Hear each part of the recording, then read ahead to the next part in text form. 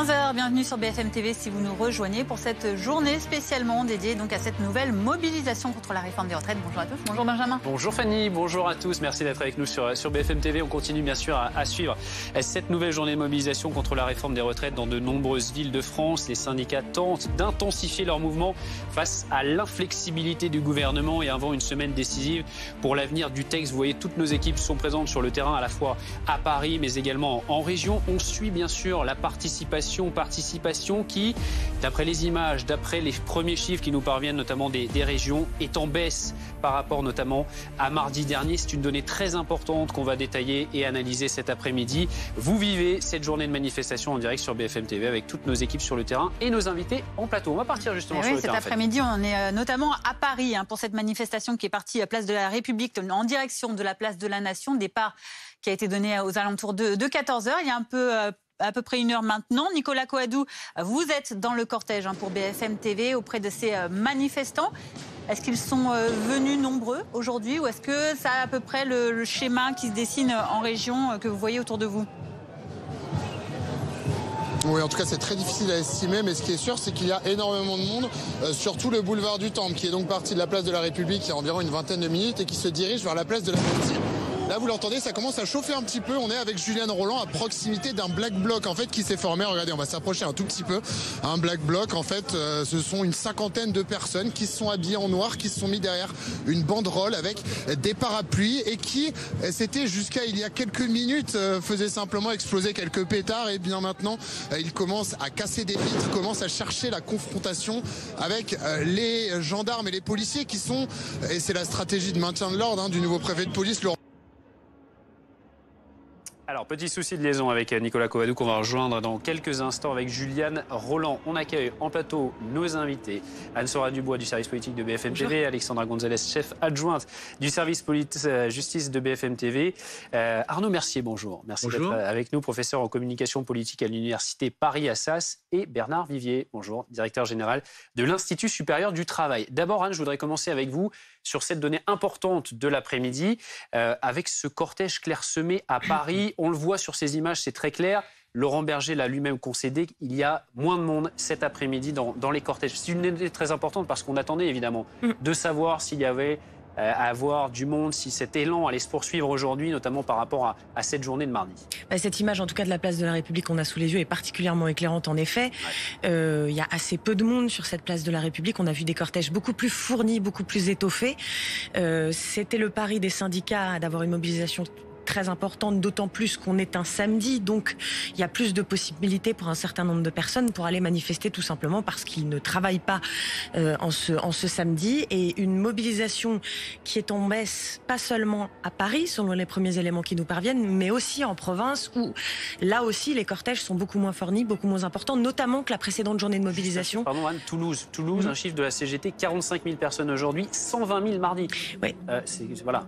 Ça, ça Alors c'est effectivement la baisse. Euh, Absolument, c'est un chiffre très important qui a d'ailleurs été concédé, on le disait tout à l'heure, par euh, le leader de la CFDT, Laurent Berger, mmh.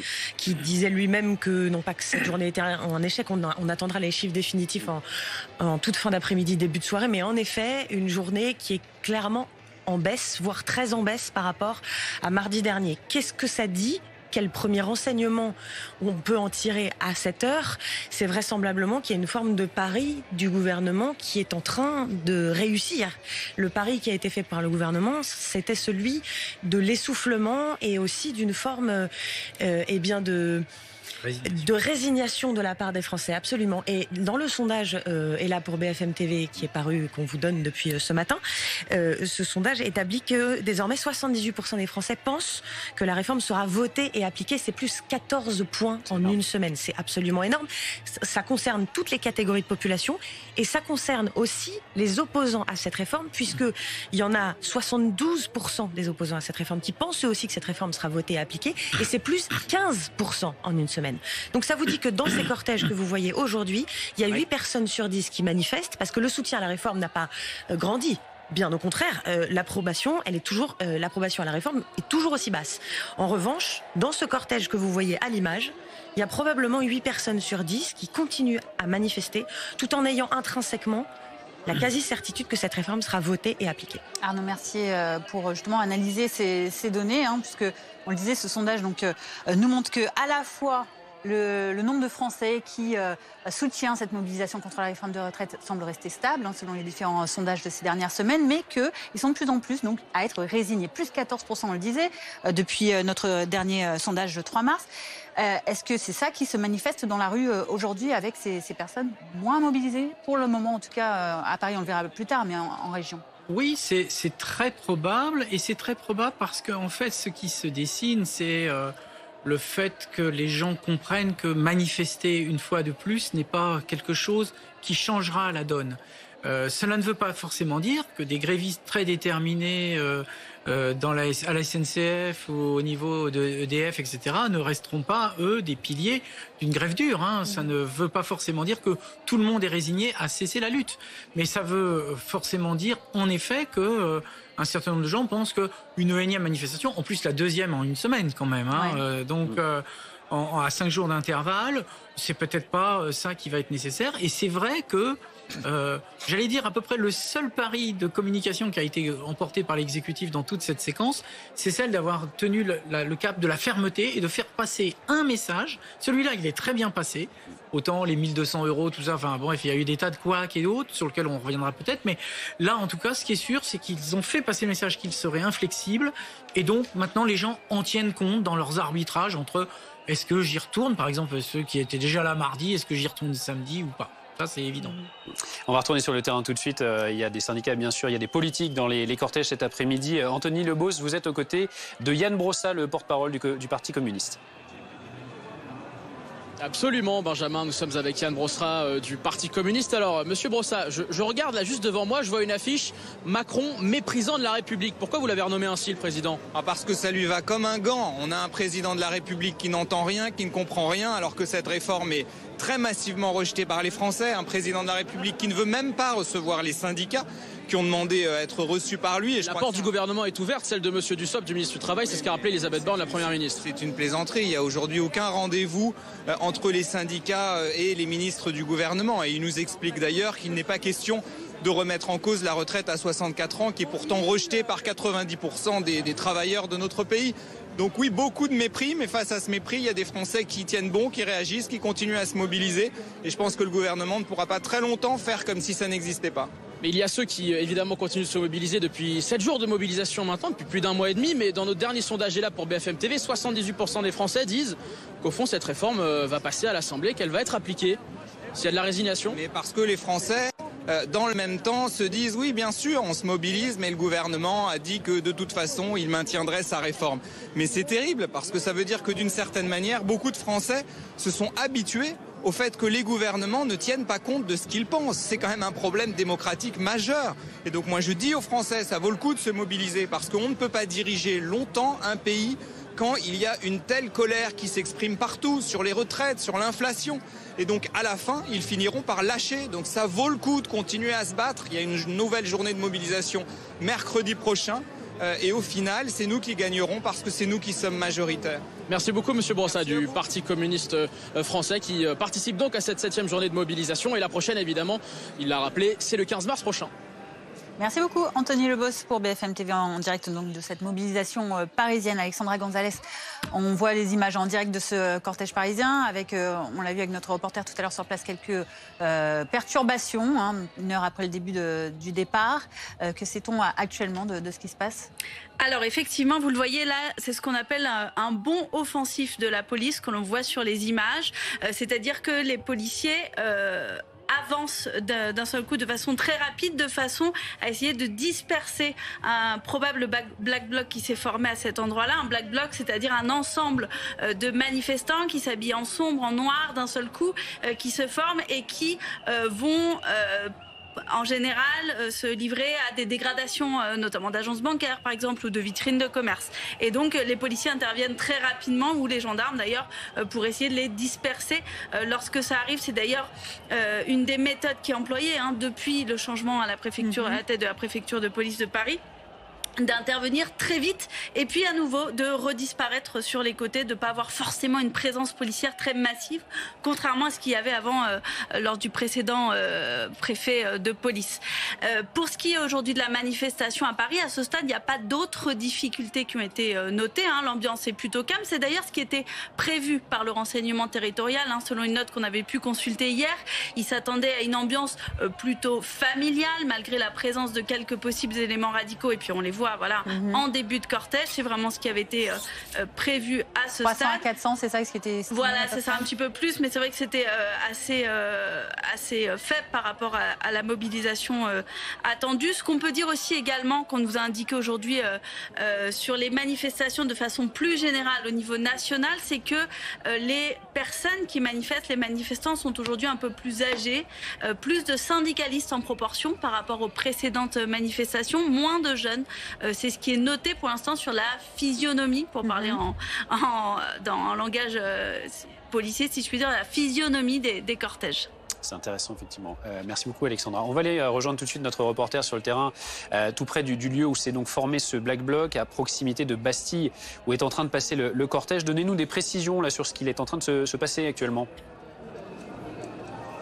Eh en fait, ça a commencé il y a environ une demi-heure. Il y a, euh, comme c'est assez habituel hein, pendant ces manifestations, au milieu du cortège, un black bloc qui s'est constitué. En fait, c'était une cinquantaine de personnes, euh, un petit peu de tous horizons, hein, qui se sont mis en noir, avec euh, un bonnet, souvent également une cagoule. L'objectif, se dissimuler derrière une grande banderole. Et il y a environ 10 minutes, c'est allé extrêmement vite. Ils se sont déployés afin de mettre le feu à quelques poubelles, de casser une ou deux vitrines. Et c'est à ce moment-là que la police est intervenue précisément la Brave M, hein, brigade d'intervention qui était positionnée dans les rues adjacentes de ce boulevard du Temple hein, qui relie la place de la République à la place de la Bastille. Ils ont dû effectuer euh, quelques charges avec euh, du gaz lacrymogène qui a été également aspergé euh, sur la place. Nous n'avons pas pu voir hein, s'il y avait eu des interpellations, mais ce qui est sûr, c'est que la situation vient à peine de revenir au calme. Mais alors un calme extrêmement précaire puisque les forces de l'ordre sont toujours extrêmement présentes sur ce boulevard et suivent donc ce euh, groupe de Black Bloc qui s'est formé euh, dans le cortège avec beaucoup d'attention. Merci beaucoup pour ces précisions en direct. Donc euh, à Paris, au niveau de la place de la Bastille, on voit la, colonne en, aval. des, complications donc pour l'instant hein, qui, ont lieu, mais de manière générale ailleurs et même à Paris, pour l'instant, toutes les manifestations se déroulent plus ou moins dans, le calme. Euh, Arnaud Mercier, euh, cette, euh, ces manifestants qui sont présents aujourd'hui, ce samedi, qui une nouvelle fois viennent protester contre. Pardon, je, je, à Bernard Vivier. je regarde Arnaud. Bernard Vivier, pardon. cette manifestation donc, qui, qui se renouvelle encore ce, ce samedi, c'est peut-être aussi avec cette nouvelle donne, le refus d'Emmanuel Macron de, s'adresser euh, directement euh, aux syndicats comme il l'avait demandé et comme le président leur a répondu dans une lettre, à votre avis Ça joue aussi aujourd'hui? Oui, un peu. Euh, le titre de votre reportage, c'est Un samedi décisif. Il n'est pas franchement décisif, mais c'est un vrai tournant, en effet, pour deux raisons. La première, c'est que le président de la République, dans sa lettre du 9 mars d'avant-hier, affiche de façon très carrée sa détermination pour lui, la réforme, elle se fait au Parlement, elle se fait pas dans la rue. Et dès le début, il a mis de côté les organisations syndicales. Donc ça a un côté crispant pour les organisations syndicales, mais la détermination est là. On verra le résultat le 26 mars au plus tard, peut-être même jeudi de la semaine prochaine. En tout cas, à ce jour, la réforme semble faite, pliée. Euh, ça vient d'être dit. Euh, deux tiers des Français sont contre la réforme, mais deux tiers des Français, et ça a beaucoup monté ces derniers jours, considèrent qu'in fine, la réforme sera adoptée par la loi ou par le, 49, par le vote ou par le 49.3. Deuxième élément important, c'est un tournant pour les organisations syndicales. Parce que les organisations syndicales ont marqué beaucoup d'unités depuis la première manifestation le 19 janvier, ont marqué des manifestations en nombre celle-ci est à l'évidence moins forte, mais elle reste significative. Nous sommes quand même au septième jour de manifestation et c'est quelque chose de, marquant. Des syndicats qui ont su tenir tête aux forces politiques qui, en marge des cortèges, même si on les voit beaucoup dans les interviews, ne sont pas au cœur mhm. de, de, la mobilisation. Bien sûr, tout parti politique en tout cas d'extrême gauche ou de gauche, puisque l'extrême droite n'est pas là, mais euh, a toujours tendance à récupérer la grogne sociale. Bien sûr, c'est le jeu de l'opposition politique. Et puis euh, des syndicats qui ont existé dans le monde du travail, évitant ainsi des dérapages à ce jour de type Black Blocs ou Gilets jaunes. Alors nous avons aujourd'hui une première euh, une manifestation de Black Blocs, mais le front syndical a tenu. En tout cas, là aussi jusqu'à aujourd'hui, il est évident que ça va pas durer deux ans. Alors, on voit toujours ces images donc à, Paris, ce cortège euh, parisien, on le rappelle, qui est parti de la place de la République tout à l'heure, qui doit arriver jusqu'à la place de la, de la Nation en passant par Bastille. Il y a beaucoup de mobilisations aussi en région, 230 actions au total hein, ce samedi pour cette septième journée de mobilisation depuis euh, la présentation du, projet de réforme des retraites au, mois de janvier. On va aller à Lyon tout de suite pour rejoindre Damien Charton. Damien, euh, quelle est la, comment, comment ça se passe sur place? Je crois que vous avez vu aussi la formation d'un d'un black bloc pas très loin de, vous oui, écoutez, il y a un black bloc qui s'est formé en tête de manifestation, comme souvent. Alors là, le problème, c'est qu'il y a eu euh, un petit peu euh, quelques tensions, on va dire, avec le cordon syndical et les black blocs, les black blocs empêchant le cortège d'avancer. Donc là, ça fait un petit moment qu'on est quasiment arrêté. Euh, pour l'instant, euh, dans le cortège, euh, vous le voyez, il n'y a pas de problème. C'est un, des manifestants de tous âges, pas mal de jeunes quand même, je dois dire, par rapport à d'habitude, qui sont venus évidemment manifester aujourd'hui un samedi pour pas forcément perdre une journée de travail, de paye. mais pour l'instant, à Lyon, il n'y a pas eu de pas eu de tension avec les Black Blocs qui sont bien présents en début de cortège, mais euh, il n'y a pas eu de problème. On est assez loin du bout de la manifestation. Je dirais qu'on a fait un tiers à peu près. Euh, on est parti de la place Jean Massé et on va en direction du quartier des Brotteaux dans le 6e. Juste un mot, Damien, est-ce que vous avez le sentiment qu'il y a un petit peu moins de monde que lors des autres manifestations précédentes, notamment celle de Marny c'est pas évident à dire. Hein. Euh, là, on est vraiment dans, le cœur du cortège, donc c'est le cortège est assez assez long, euh, donc euh, je ne peux pas m'avancer sur, euh, sur le chiffre, mais en tout cas, on peut dire qu'il y a du monde et que la manifestation, pour l'instant, est un succès. Il faudra attendre les chiffres pour voir s'il y en a plus que mardi dernier. Merci Damien Charton à Lyon en direct avec Amélie Duchamp pour BFM TV. Arnaud, merci. Donc on, voit ces, rassemblements un peu partout. On disait 230 prévus aujourd'hui. comment est-ce qu'on analyse face à ça la communication du, gouvernement sur son projet de réforme des retraites? On a parlé euh, d'Emmanuel Macron. Euh, on, a vu également que pour les ministres euh, en charge de, cette réforme, ce n'est pas évident. Le texte est au Sénat jusqu'à demain. Comment est-ce que le gouvernement, quelle est, la note du gouvernement sur cette gestion de, cette réforme des retraites face à, ces mobilisations qui se continuent, même si elles sont moins nombreuses en nombre? En tout cas, il y en a toujours beaucoup partout en France. En fait, euh, il y a deux dimensions dans votre question, parce qu'il y en a une qui est euh, l'explication de la réforme. Et là, c'est un naufrage en termes de communication. Euh, moi, en cours de communication politique, j'ai l'habitude de dire il faut étudier en marketing politique les erreurs. Là, c'en était. Euh, le coût des 1200 euros, où certains se sont jetés sur l'idée, euh, y compris des députés, de dire que ce serait pour tous. Enfin, bon, il y a eu des, des, des écarts de langage, on pourrait mhm. dire, euh, dans les éléments de langage qui avaient été fabriqués pour vendre la retraite, qui ont fabriqué énormément de déceptions et qui ont finalement, ça, ça, revenait à l'exécutif à se tirer une balle dans le pied puisqu'il laissait monter un espoir qui était un, un, espoir déçu. Donc là, il y a eu beaucoup d'erreurs de, de, ce point de vue. Et puis, il y a, il y a, il y a une autre dimension, c'est la gestion pour l'exécutif de, des oppositions, que ce soit l'opposition euh, dans euh, les institutions parlementaires ou l'opposition dans, dans, la rue. Alors là, il y a, là aussi, il y, a deux, y a deux attitudes différentes. Vis-à-vis de la rue, euh, il, y a, il y a deux choses. Il y a un discours qui, que tiennent tous les exécutifs avant, et c'est l'élément de langage et même les députés, c'est nous sommes toujours ouverts au dialogue, nous comprenons, euh, mais c'est vrai que c'est une réforme difficile, mais nous, et nous comprenons la convergence, mais c'est pour ça qu'il y aura aussi des choses. Et ils annoncent d'ailleurs que puisque tout le monde a le sentiment que travail. voilà, c'est ça, que mhm. le, problème a été pris à l'envers. C'est-à-dire que il faut que les gens, euh, beaucoup de gens qui ont passé 50 ans, 55, commencent à s'inquiéter, se disent on sait très bien qu'à la fin on peut être licencié. Donc euh, il aurait peut-être fallu commencer par réformer le travail des seniors. Mhm. Donc euh, le gouvernement dit il va y avoir une autre loi, donc on essaye de calmer un petit peu la contestation. Et puis de l'autre côté, vous avez les parlementaires. Et là, on voit quelque chose de beaucoup plus musclé parce que le gouvernement est en train d'utiliser tous les outils de ce qu'on appelle le parlementarisme rationalisé, qui est prévu par la Ve République, qui est parfaitement légal. Hein, le vote mais, bloqué au Sénat. Mais voilà, leur vote bloqué, euh, il, passe par un autre article de la Constitution pour avoir permis. Euh, d'abord, euh, c'est le fait que c'est une loi rectificative sur la sécurité sociale, etc., etc. Et donc là, ils sont en train d'utiliser tous les artifices possibles pour essayer de limiter la, le pouvoir de nuisance. De, ce qui risque de quand même se retourner. Alors on se dit c'est efficace, au moins ils vont pouvoir arriver à leur fin, ça va être voté dans les temps, etc. Et donc ça montre cette image de, euh, nous sommes déterminés, nous allons jusqu'au. Ce qui risque de braquer les derniers euh, qui étaient susceptibles de voter la réforme pour le gouvernement, c'est-à-dire les gens de LR, et peut-être qu'ils vont devoir passer par un 49-3, ce qui fera mauvais dans le tableau, parce que ça voudra dire une réforme dont les gens ne voulaient pas et qui est imposée par et j'ajoute un dernier point. Ne, samedi décisif, euh, certainement pas.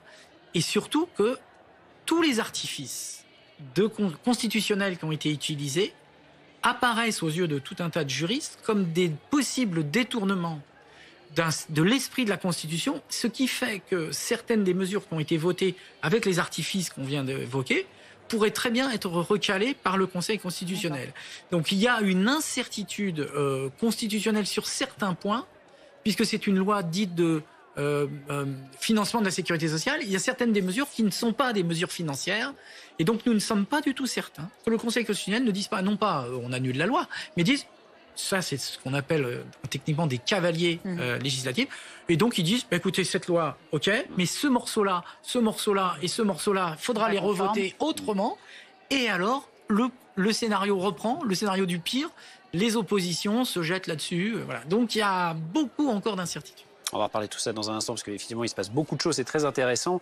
Euh, les syndicats, bien sûr, aux avant-postes, vous voyez tous ces, tous ces drapeaux euh, cet après-midi. Si vous étiez avec nous sur BFM TV en, début d'après-midi, vous avez entendu les prises de parole de Philippe Martinez pour la CGT, de Laurent Berger pour la CFDT, notamment Philippe Martinez euh, qui dit qu'Emmanuel Macron a fait un bras d'honneur aux syndicats en refusant de les recevoir. On les réécoute tous les deux. C'est un bras d'honneur un bras d'honneur aux syndicats et au mouvement social. La seule chose qu'on peut lui dire, si vous êtes aussi sûr de vous, consultez les Français. Donc il faut qu'il faut qu'il y ait une consultation des citoyens de ce pays pour savoir s'ils sont pour ou contre cette réforme. On s'attend à une très forte mobilisation. Euh, les, mobilisations du samedi ne ressemblent pas aux mobilisations de semaine, mais euh, il y a encore beaucoup, beaucoup de monde dans les rues, il y a encore des grèves. Euh, ça montre que la détermination est toujours aussi importante la CFDT, elle, est sur sa ligne depuis toujours. Il faut faire des démonstrations de force pacifiques, ce qu'on est en train de faire, ce qu'on fait pour la septième fois euh, aujourd'hui, montrer notre détermination, être ouvert à la discussion. Ça sert à montrer que le monde du travail, on ne peut pas lui marcher sur la tête ça sert à montrer que les femmes et les hommes qui tous les jours exercent des métiers qui sont parfois compliqués, qui étaient là pendant le confinement pour les travailleurs de première et deuxième ligne, on ne peut pas en termes de reconnaissance et de remerciement derrière leur dire c'est deux ans de plus, point barre, et circuler. Et d'autant plus quand ils se mobilisent. Anne-Sora Dubois, euh, on entend ces euh, deux figures syndicalistes hein, donc, euh, parler de cette mobilisation qui se continue de manière pacifique, c'est ce que souhaite Laurent Berger. Et surtout, on retient les mots de Philippe Martinez qui fait une allusion très claire hein, sur, quand il exprime que Emmanuel Macron lui aussi ferait un bras d'honneur finalement à ses syndicats et à ces, personnes mobilisées aujourd'hui. Sans doute une petite référence en effet à un épisode qui a eu lieu cette semaine à l'Assemblée nationale où le garde des Sceaux a adressé, enfin a mimé trois bras d'honneur en direction d'Olivier Marlex, le président du groupe Les Républicains. On était sur un sujet totalement mhm. autre. On parlait d'une proposition de loi qui visait à condamner les élus qui ont, euh, euh, euh comment, qui, qui, se sont rendus coupables de violences intrafamiliales ou, bref, ça n'avait absolument rien à voir avec le, la question des retraites, mais effectivement, ça a beaucoup fait parler et ça, ça a fait bondir les oppositions. On s'est même demandé à un moment si ce, ces bras d'honneur en direction du président du groupe des Républicains, on sait bien que les discussions sont continues entre l'exécutif et les Républicains, ça allait pas à un moment compliquer un peu peu la suite des négociations, puisqu'on sait que le gouvernement va avoir besoin à un moment ou à un autre, s'il veut éviter jusqu'au bout de passer par un 49-3, il va avoir besoin de l'appui du groupe des Républicains. Donc c'est effectivement le, la, cette, ce, en référence à cet épisode que Philippe Martinez a convoqué cette, cette image. En tout cas, euh, on comprend que de la part des syndicats, il y a un peu le même sentiment que de la part de la majorité des Français, c'est l'impression d'une inflexibilité de la part du gouvernement. Euh, ils disaient tous les deux ce matin, ils ont répété tout, plusieurs fois d'ailleurs la semaine dernière, les deux, Laurent Berger et Philippe Martinez, qu'est-ce qu'il faut faire à la fin pour être entendu? Et d'un autre côté, il y a un chef de l'État qui a décidé que cette réforme se ferait, une majorité qui le suit, qui fait alors bloc plus ou moins ferme derrière lui. Il y en a deux, trois qui hésitent un petit peu, mais enfin quand même la majorité de la majorité fait bloc derrière le chef de l'État. Euh, et pour l'instant, le rapport de force est, est, totalement arrêté puisque aucun des deux camps ne va vers l'autre. Vous voyez toujours ces images, ce cortège parisien qui est arrêté actuellement, qui doit se rendre jusqu'à la place de la Nation. Euh, on va retourner dans le cortège parce qu'il y avait, euh, vous aviez vu avec nous tout à l'heure, la formation d'un black bloc euh, aux avant-postes donc de ce, de ce cortège. On va rejoindre notre reporter. Qu'en est-il désormais? Eh bien la situation ne s'arrange pas vraiment. Hein. Vous pouvez le voir sur les images de ma collègue. Eh bien euh, les euh, gendarmes et euh, les policiers qui sont mobilisés sur place chargent depuis maintenant plusieurs minutes le cortège de Black Bloc qui, de son côté, eh bien envoie des pavés, des bouteilles et tous les objets qu'ils peuvent trouver sur les policiers qui sont donc en train de scinder ce cortège en deux. D'une part, le, la tête de cortège qui est devant les perturbateurs a pu, on va s'éloigner un tout petit peu, la tête du cortège de la place de la Bastille, mais euh, tout le cortège syndical avec la CGT en tête que vous voyez dans le fond de l'image, eh bien est bloqué euh, par, voilà, vous le voyez, hein, les images parlent d'elles-mêmes, hein, des jets euh, d'objets absolument massifs sur les policiers qui sont donc contraints de reculer face à ce black bloc qui, il faut bien le dire, hein, semble un petit peu plus nombreux que tout à l'heure et qui semble très déterminé à commettre des dégradations sur le parcours beaucoup pour euh, ces euh, explications et ces observations hein, en direct sur le terrain, donc dans ce cortège parisien. Alexandra Gonzalez, on le voit, euh, les forces de l'ordre continuent, vous nous l'expliquez tout à l'heure, à effectuer ses charges euh, sur euh, ces euh, black blocs qui, qui continuent aussi de, mettre la pression. Oui, et selon la préfecture de police, ce, groupe de perturbateurs est estimé à plusieurs centaines de personnes et donc ils se sont formés en ce qu'on appelle un black bloc, c'est-à-dire donc d'un seul coup tous ces manifestants habillés de noir qui se rapprochent tous les uns des autres et qui se livrent à de, des dégradations, des affrontements avec les forces de l'ordre. Notre reporter le racontait à l'instant avec euh, euh, des, pavés qui, qui, peuvent voler euh, en direction des policiers, des gendarmes qui sont là sur le terrain et qui essayent, eux, en fait, de disloquer ce black bloc, c'est-à-dire qu'ils ils font euh, bien des charges. C'est quand on les voit courir d'un seul coup euh, vers euh, vers cette foule et pour essayer de les, les, éloigner, de les séparer les uns des autres, c'est leur stratégie. ça ne veut pas dire que c'est en tension constante. D'ailleurs, regardez là sur les images, vous voyez que les forces de l'ordre sont là pour l'instant pas justement en train de faire euh, ce type de bond offensif, euh, mais le but c'est vraiment d'essayer de reprendre la main sur ces personnes euh, qui se livrent à de possibles dégradations. Tout à l'heure ils étaient face à un magasin de motos et, ils voulaient casser les vitrines quand, quand les forces de l'ordre sont intervenues.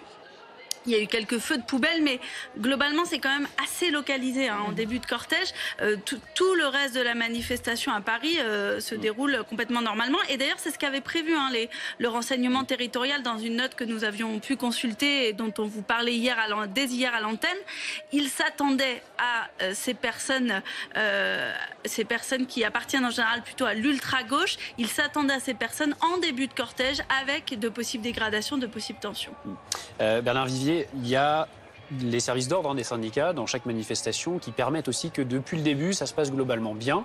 Euh, dans, le calme, mais effectivement, il y a ces, black blocs, même si euh, les services d'ordre tentent de les mettre le plus à l'écart. Oui, les services d'ordre syndicaux, d'abord, ne sont pas équipés, on le voit bien, comme les, policiers et les gendarmes. Et la mission des services d'ordre, c'est simplement de veiller à ce que les manifestants syndicaux soient bien dans leur, dans rang. Ils sont pas là pour euh, aller chasser des black blocs ou les poursuivre. Donc euh, les, organisations syndicales ont fait de gros efforts ces dernières manifestations pour bien garantir la sécurité de leurs adhérents et militants, mais pas la sécurité publique, chacun son métier.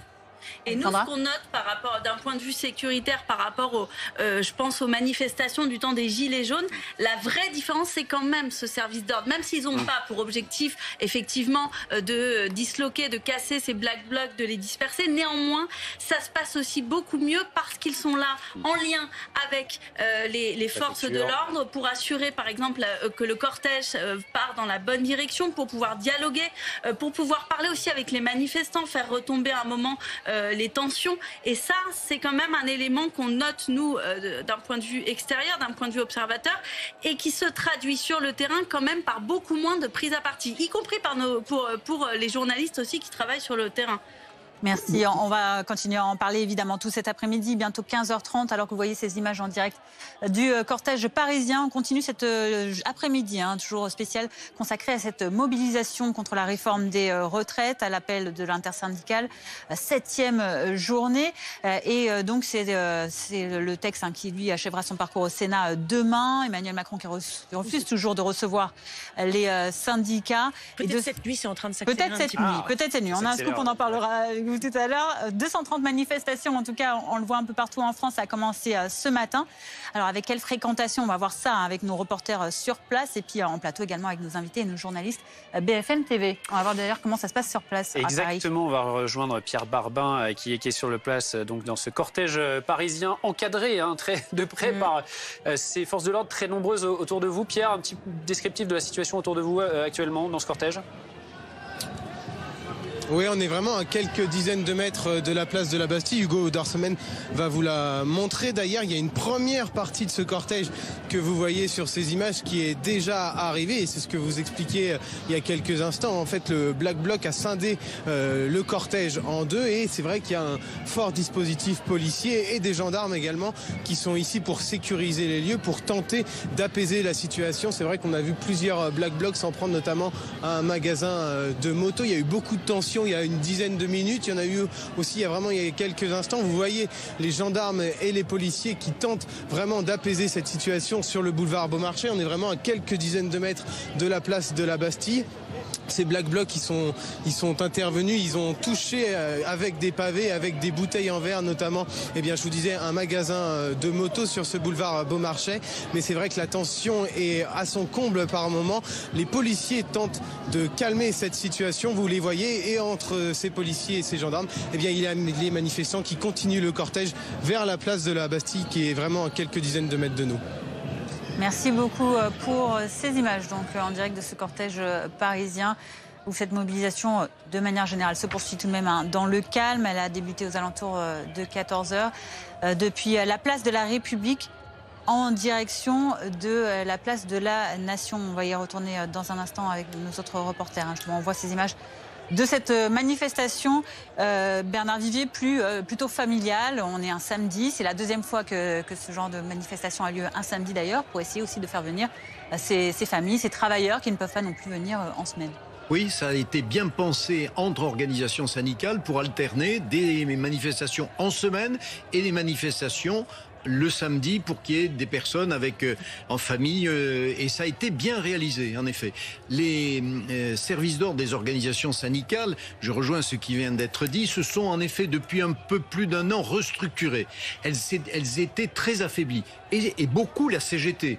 Le, le grand service d'ordre dans les manifs en général, c'est la CGT et euh, avec des militants qui viennent du Havre, les dockers, du syndicat du livre parisien, des dockers parfois de Marseille et naguère jadis, quand le service d'ordre CGT passait, l'herbe ne poussait plus beaucoup après. Et puis, souvenons-nous, à plusieurs reprises, notamment le 1er mai de l'an dernier 2022, le service d'ordre en fin de cortège a été lui-même ouais. pris à partie violemment. Une camionnette de la CGT a été taguée, on a pu lire collabo, c'était des black blocs. Donc la CGT en a pris la leçon et a dit bon maintenant ça ne se passera plus, on va se rééquiper en matériel, mais attention, ils ne sont pas des policiers et des gendarmes, ils ne peuvent pas s'armer de la même façon, et en technique de service d'ordre. Oui, ces images en, en, direct, donc avec euh, notamment ce, cortège parisien, avec à droite euh, ces, ces, forces de l'ordre, avec euh, ces quelques tensions donc, dans Paris actuellement, mais c'est assez isolé, hein, il faut bien le dire, c'est important de le dire, et de le répéter que globalement, ça se passe dans le calme, euh, dans la majorité euh, du, du, cortège, avec euh, tous ces, manifestants, ces syndicats qui sont aujourd'hui rassemblés. On va rejoindre Angie Loata, justement, dans ce cortège. Angie, là où vous êtes, ça se passe bien, et vous avez d'ailleurs un petit mot peut-être sur la participation, Angie. Est-ce que vous constatez qu'il y a un peu de moins de monde aujourd'hui, comme on a pu le voir sur les images, que mardi notamment?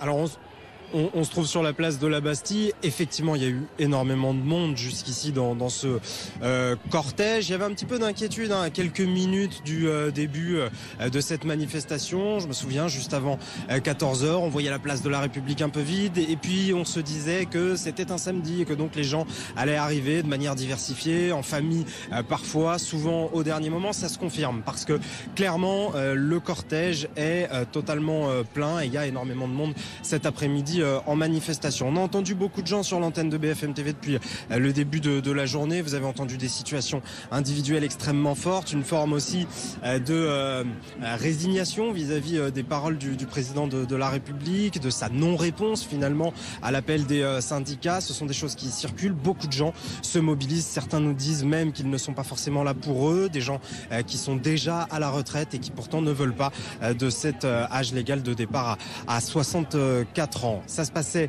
dans le calme, effectivement. Vous l'avez dit, on l'a expliqué également. Il y a eu quelques échauffourées, des moments où des black blocs se sont euh, constitués, si bien que le euh, cortège s'est désormais euh, scindé en, deux. Il approche doucement de la place de la Bastille, mais parfois avec quelques difficultés, puisque le dispositif des forces de l'ordre présents tente de faire en sorte que tout se passe bien, en tout cas, et qu'il n'y ait pas d'échauffourée, que le message continue de passer. C'est ce que je voulais vous raconter en, quelques mots, simplement. On a vu beaucoup de visages de gens assez marqués, un peu dépités aussi au moment où il y a eu les premiers échanges de tirs de gaz lacrymogène, des jets de, projectiles également sur les forces de l'ordre, tout simplement parce que tout se passait bien jusqu'au cœur de l'après-midi, euh, qu'on pouvait entendre dans les différents médias, dans le cortège, dans la manifestation, les mots des uns et des autres, les revendications, et que forcément ça a un peu perturbé les choses. L'espoir désormais, c'est que euh, à partir de maintenant, en se rejoignant euh, place de la Bastille, avant de partir en direction de la place de la Nation, ce cortège retrouve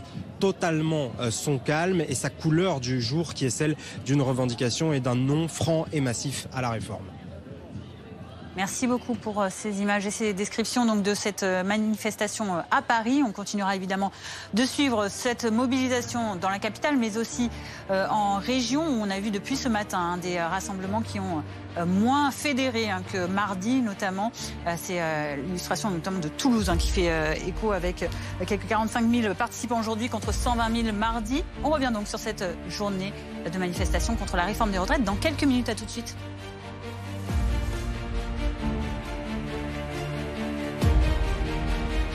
Le saviez-vous Kev Adams a 31 ans et déjà 12 ans de carrière avec 4 spectacles sur scène et plus de 1,5 million de tickets vendus. J'ai du mal avec mon image, les amis. Quand je, tombe par hasard sur moi à la télé, je zappe direct, ça me dégoûte. Et en fait, c'est un truc d'artiste. Moi, je pensais que c'était que moi. J'en ai parlé avec euh, Gad par exemple. Il m'a dit, moi, c'est pareil. Je dis, ah ouais, il m'a dit, ah ouais. Je tombe sur toi à la télé, je zappe direct. Il m'a dit, ça me dégoûte, ça me dégoûte. Aujourd'hui, l'humoriste à la carrière impressionnante est de retour sur scène avec son nouveau spectacle Miroir. BFM TV, partenaire du nouveau spectacle de Kev Adams, en tournée à partir du 24 février 2023 dans toute la France et au Dôme de Paris.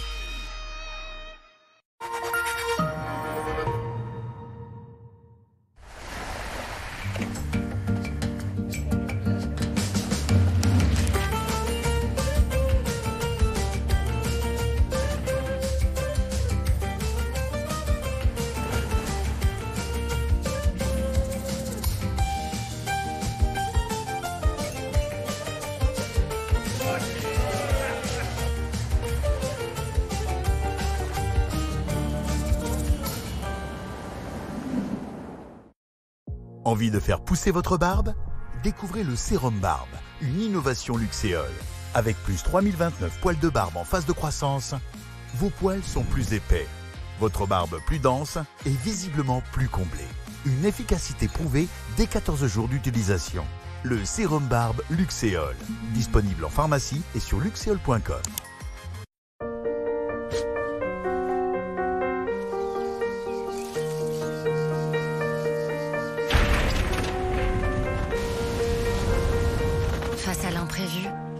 être tenté de baisser les bras.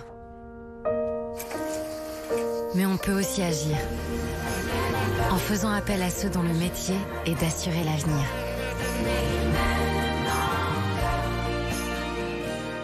Abeille Assurance, donnez des ailes à votre avenir.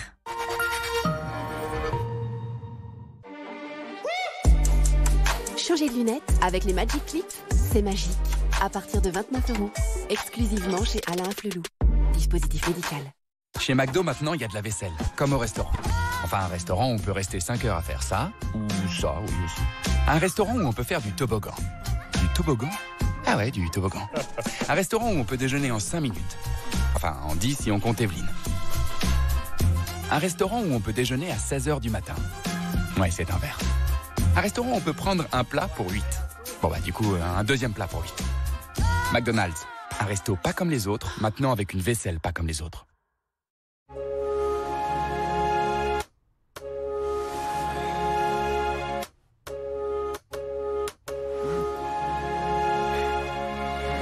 Ibis Styles.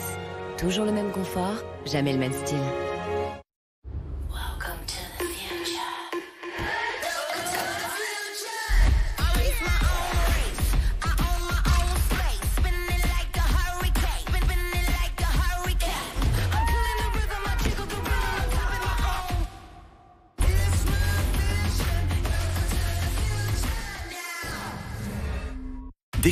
Gamme Jeep désormais 100% électrifiée et profitez de la prime reprise Electric Freedom de 4500 euros sur Renegade et Compass.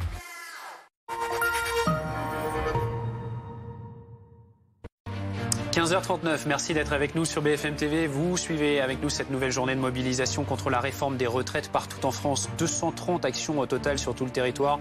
Image, vous le voyez notamment à Paris, ce cortège parisien, mais aussi en, province. Il y a beaucoup, beaucoup de mobilisation. Et on va aller du côté d'Angers tout de suite pour retrouver euh, euh, notre reporter sur place, Antoine Forestier, euh, avec une, mobilisation à nouveau en province, à Angers cet après-midi. Est-ce qu'il y a du monde Antoine? Oui, il y a du monde. On est à peu près à la moitié du parcours. On est en train de remonter euh, le bord de la, Maine avec les manifestants qui sont, oui, plusieurs milliers cet après-midi. On n'a pas d'estimation plus précise à vous donner pour le moment. On fera le point avec les syndicats un petit peu plus tard. Mais ce qu'il faut dire à Angers, c'est que cette semaine, on a battu le record de mobilisation avec 17 000 personnes selon la police, 19 000 euh, selon les syndicats. Je suis aux côtés euh, d'Isabelle. Merci de répondre au direct à nos questions pour la, CGT. Déjà un petit mot sur la mobilisation aujourd'hui. Vous étiez déjà là cette semaine. C'est comparable à ce qu'on a, a connu à Angers? Eh ben, nous sommes 4500 aujourd'hui, donc c'est beau pour un samedi qui est un peu plus vieux. La mobilisation reste déterminée. Qu'est-ce qui explique qu'il y ait encore des milliers de personnes qui se mobilisent un, un samedi ici dans, dans, dans cette ville? 90% des salariés et des gens sont toujours contre cette réforme. On a pu démontrer que cette réforme est néfaste pour tous les salariés. Il y a eu beaucoup de mobilisation déjà. C'est dur pour les syndicats de mobiliser, de, de, de motiver les gens à venir dans, dans, la rue avec ces mobilisations qui se, qui se suivent. C'est pas spécialement dur puisque les gens sont contre cette réforme et restent persuadés qu'il ne faut pas que cette réforme passe. Vous, vous êtes couturière. Est-ce que vous vous voyez travailler jusqu'à 64 ans? Justement, non. Dans ma profession, nous sommes beaucoup de femmes, femmes seules avec enfants, donc des carrières hachées, des carrières pénibles au rendement, des repasseuses qui travaillent à la chaleur l'été debout, des coupeurs debout toute la journée. Et donc, on ne peut pas aller jusqu'à 64 ans. À 55 ans, on est déjà beaucoup de maladies professionnelles. Donc, les salariés ne pourront pas aller jusqu'à 64 ans. Merci beaucoup. Merci beaucoup d'avoir répondu en direct euh, à nos questions. Voilà, à peu près à la moitié du parcours euh, ici euh, à Angers. On va revenir au point de départ. Il faut compter encore à peu près une heure de manifestation avant une dispersion qui se passera tout à l'heure dans à peu près une heure. Merci Antoine Forestier avec cette bonne humeur hein, du côté d'Angers euh, et avec euh, Nicolas De Roussy. Euh, Arnaud Mercier, effectivement, on le disait. Alors en termes de fréquentation pour les villes moyennes, ce matin c'était moins, moins concentré que, mardi, mais tout de même. Ce que vous dites, c'est que le, point essentiel, c'est qu'il y a quand même 230 rassemblements aujourd'hui. Ça veut dire que, quelle que soit la fréquentation individuellement dans les, dans les villes, ça reste quand même significatif de cette forte mobilisation de, de, des Français contre ce, cette réforme des retraites. Absolument, c'est un point, je crois, presque le plus important dans les mobilisations et, qui d'ailleurs fait peur, euh, notamment par exemple à des députés LR, euh, euh, parce que c'est dans, des sous-préfectures euh, où ils sont élus, etc. On a rarement vu ça, voire dans certains cas jamais vu ça.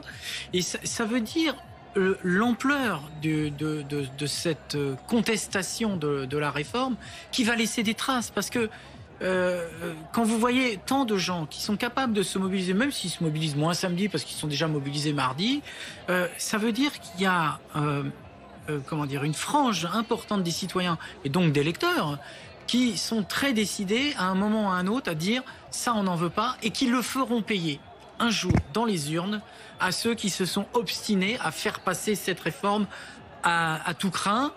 Qui et comment ils le paieront et qui gagnera et qui raflera la mise, ça on ne le sait pas encore. Mais en tout état de cause, euh, quand vous avez une telle mobilisation, ça, crée une mémoire, une mémoire collective, ça crée des souvenirs, ça crée des et, et on en parlera et un jour ou l'autre, on s'en souviendra au moment où il s'agira de glisser un bulletin dans l'urne. Vous voyez ces deux images en direct, le cortège parisien sur la, sur la gauche de l'image avec euh, ces nombreux euh, syndicats et également euh, ces quelques éléments qui créent des tensions avec les forces de l'ordre. Et puis à droite, Marseille, Marseille où Jean-Luc Mélenchon s'était exprimé tout à l'heure, indiquant qu'il fallait trouver une, une, sortie démocratique à la situation actuelle. Anne-Sora Dubois, je voudrais qu'on évoque aussi ce qui se passe actuellement au Sénat, puisque mmh. ce projet de loi, il est actuellement au Sénat. Il y a eu hier ce vote bloqué au Sénat, ce qui signifie que désormais, eh bien, c'est un vote sur l'ensemble du texte et non pas mmh. amendement par amendement. On se dirige vers un vote de ce texte au Sénat. Avant, on le rappelle, demain, 23h59. Oui, absolument. Ça sera la, date et l'heure limite pour que l'examen de ce texte au, Sénat, en effet. Et hier, effectivement, le ministre du Travail, avec l'accord d'ailleurs de la majorité de droite du Sénat, a déclenché ce qu'on appelle l'article 44.3, c'est-à-dire qu'il y a effectivement un seul vote sur la totalité du texte. C'est une autre façon de contraindre au moins temporellement euh, les débats. La gauche du Sénat s'est insurgée en disant que c'était à nouveau une tentative d'obstruction. C'était d'ailleurs le même argument qui avait été utilisé ouais. par le ministre du Travail pour déclencher ce fameux article 44.3. Lui aussi parlait, parlait d'une obstruction systématique de la part de la gauche. Où on en est euh, là cet après-midi, l'examen le, le, des amendements se poursuit. Il y en a 200 qui viennent de tomber d'un coup parce que Bruno Retailleau vient d'enlever un de ces amendements qui entraîne à sa suite 200 amendements. Donc ça veut dire que ça s'accélère encore un peu. On pourrait avoir un vote dans la nuit. Mm -hmm. Dans la nuit, ça peut être très tard, 2 heures, 3 heures du matin, un peu plus tôt dans la soirée, s'il y a d'autres sénateurs qui décident de retirer certains de leurs amendements. Qu'est-ce qui va se passer ensuite si le Sénat vote ce texte comme on peut s'y attendre, puisque c'est une euh, majorité, euh, les républicains, qui est plutôt favorable et qui elle-même propose depuis des années un amendement qui va dans le sens de cette réforme des retraites. Si effectivement le Sénat vote cette réforme des retraites dans la nuit, la prochaine étape, c'est mercredi prochain. On va avoir ce qu'on appelle une commission mixte paritaire, parce que puisque l'Assemblée nationale et le Sénat ne se sont pas mis d'accord, on va réunir sept députés, sept sénateurs à huis clos. Donc on sort des postures, il n'y a plus de euh, il n'y a plus de caméras pour montrer un peu ses opinions politiques ouais. et pour faire des coups. Ils sont désignés comment, pardon, Anne, ces, sept députés, sept sénateurs? Alors, ils sont désignés au sein de chacun des groupes ouais. en fonction aussi des majorités. Et c'est vous dire qu'au sein de cette commission mixte paritaire, il va y avoir une majorité, enfin cette commission mixte paritaire va être à la main des LR mm. et de la majorité, puisque la majorité présidentielle, même si c'est pas une majorité absolue, a toujours la majorité à l'Assemblée et les LR ont la majorité au Sénat. Donc à eux tous ensemble, ils ont 9 voix sur 14. Donc autant dire que s'ils se mettent d'accord, il y a de grandes chances que cette euh, commission mi mixte paritaire arrive à effectivement se mettre d'accord sur ce texte. Dans ces cas-là, on dira qu'elle est conclusive. Si elle est conclusive, le texte revient à l'Assemblée, il est voté et ça sera terminé. Si jamais elle n'est pas conclusive, on repart pour un coup de navette parlementaire. Je vous le fais rapidement parce que c'est un peu long, mais on le suivra sur BFM TV. Mmh. Assemblée nationale, Sénat, Sénat et à nouveau Assemblée nationale qui à la fin aura le dernier mot. On n'est pas à la fin de cet examen tout de même, mais ça s'accélère et c'est sans doute ce qui fait aussi peut-être euh, que les cortèges sont un peu plus clairsemés parce que il y a un peu de lassitude, le trajet a été long. On va voir comment ça se passe euh, à l'heure actuelle à Paris dans ce, ce cortège justement. Euh, on reprend la direction avec nos reporters sur place hein, et qui suivent cette mobilisation dans la capitale. Qu'est-ce que vous observez autour de vous? On a l'impression de voir de nouveau des petites scènes de tension. Oui, absolument. Alors là, on est à environ une trentaine de mètres de la place de la Bastille. En fait, il y a des tensions parce que euh, le cortège est actuellement scindé en deux, scindé en deux par les euh, policiers, les gendarmes qui ont décidé en fait de euh, faire une ligne entre le cortège de tête de la CGT et ceux qui étaient avant eux, à savoir les Black Blocs, où il y a eu eh bien de grosses tensions un petit peu plus tôt, il y a environ une dizaine de minutes. Alors désormais, les Black Blocs tentent de faire repartir ce cortège puisque ici l'agacement commence à se faire sentir le fait que ça ne marche plus. Merci monsieur. Alors forcément, les Black Blocs ont chargé la ligne de policiers qui était placée ici, qui viennent donc de se replier. Désormais, c'est le cortège qui est reparti en direction donc de la place de la Bastille et qui, qui essaie de, de retrouver derrière la place de la Nation. Mais comme on le voit, hein, ça prend beaucoup plus de temps que prévu puisqu'à chaque fois qu'il y a une intervention des forces de l'ordre contre les manifestants, eh bien, ça retarde un petit peu plus ce cortège. Pour toutes ces, précisions, euh, à donc un peu plus de 15h45, en direct de ce cortège parisien avec ces tensions euh, actuellement. Euh, Alexandra Gonzalez du service police-justice, un, point complet avec vous sur ce qui est en train de, se passer. Oui, il y a quelques tensions qui ont commencé peu après 15 heures dans la manifestation avec d'un seul coup en tête de cortège des manifestants qui se sont regroupés, qui ont formé donc un black bloc. C'est ce qui est évoqué là à l'instant par nos reporters. Ils ont d'abord commencé à, essayer de dégrader un, un magasin de motos. Les forces de l'ordre sont donc intervenu tout de suite pour euh, essayer de, les disloquer, de les disperser. Et puis ensuite, il y a eu euh, des affrontements avec euh, ces mêmes forces de l'ordre. Ça a ralenti de fait le cortège, puisqu'il y avait une partie des manifestants qui étaient devant ce black bloc qui s'est formé et une partie qui était euh, derrière. Donc tout cela a ralenti, a donné euh, la sensation d'une scission euh, sur le terrain, même si elle n'a pas été réellement provoquée de, de, fait, mais c'était la sensation qu'ont eu les personnes sur le terrain et, et, donc là, petit à petit, ça commence à reprendre, à, reprendre son cours pour se diriger donc vers, vers l'arrivée de cette manifestation qui est donc la place de la Nation. Merci Alexandra. On continue évidemment de suivre tout ça au plus près avec nos reporters euh, sur le terrain, à Paris, mais aussi euh, en région. Bernard Vivier, euh, on abordait tout à l'heure avec Anne-Sora Dubois le calendrier hein, de cette réforme au Parlement. Il y a aussi cette loi, cette loi travail sur laquelle Olivier Dussopt planche en ce moment, qui devrait être présentée donc d'ici les prochaines semaines. Emmanuel Macron a d'ailleurs dit qu'il ne reparlerait pas en gros aux Français hein, d'ici la fin mars. Est-ce que cette loi travail va servir un peu de pansement après euh, justement les, déboires que, que subit l'exécutif avec sa réforme des retraites le thème discuté sur le travail est central parce que la question de la retraite invite, nous invite, nous, nous ordonne pratiquement de bien réfléchir à la place de la retraite dans l'ensemble de la vie au travail. C'est ce que les manifestants ne cessent de rappeler d'ailleurs. Voilà, la question est très importante. Simplement, elle est perçue aujourd'hui, et tout particulièrement par les organisations syndicales, comme vous l'avez dit, à une sorte de pansement euh, de d'après-crise. Et là, les organisations syndicales vont pas aller dans cette direction. Donc, euh, les discussions sur ce thème, qui est très important, risquent d'être être très affaibli par un rejet par les organisations syndicales qui vont dire vous ne nous avez pas écoutés pour préparer la réforme des retraites, pourquoi irions-nous dans cette direction? Ce serait un grand dommage. Et vous savez, en France, c'est à la différence d'autres pays européens, où dans d'autres pays européens, on met beaucoup de temps à préparer une réforme. Quand elle est votée, on ne la discute plus. En France, c'est un peu l'inverse. On ne prépare pas beaucoup et longuement une réforme, et puis quand elle est adoptée, on met beaucoup de temps à la contester. Mais on peut ajouter un point de communication, c'est que les, syndicats ont dénoncé depuis déjà un bon moment le sentiment d'avoir été manipulés en quelque sorte, d'avoir participé à une sorte de jeu de dupes, parce qu'il y avait soi-disant des concertations, mais ils ont dit, mais finalement, euh, la porte n'était pas si ouverte que ça à des concessions, donc ils ont très peu tenu compte de nous. Et du coup, si vous faites ça une fois, pour une réforme aussi importante que la retraite, effectivement, il y a un risque que les syndicats disent, ben, on va pas euh, vous donner la chance de faire croire qu'il y avait eu des concertations préalables. Et donc, il y a un risque, effectivement, que des, des, tout ou partie des syndicats se retirent d'une consultation de ce type en disant euh, vous, vous, nous avez attrapé une fois, pas deux, et nous, nous ne vous offrons pas sur un plateau l'image d'un gouvernement qui, qui était en concertation, alors que ce n'est pas vrai.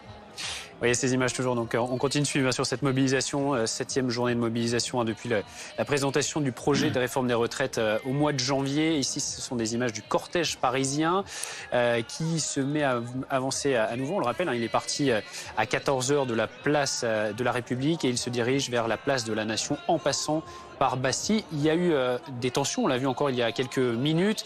Euh, ce sont euh, certains éléments qui s'opposent avec les, forces de l'ordre, qui créent des tensions dans une partie assez isolée hein, de, ce cortège. On va rejoindre notre reporter. un point sur la situation autour de vous à présent.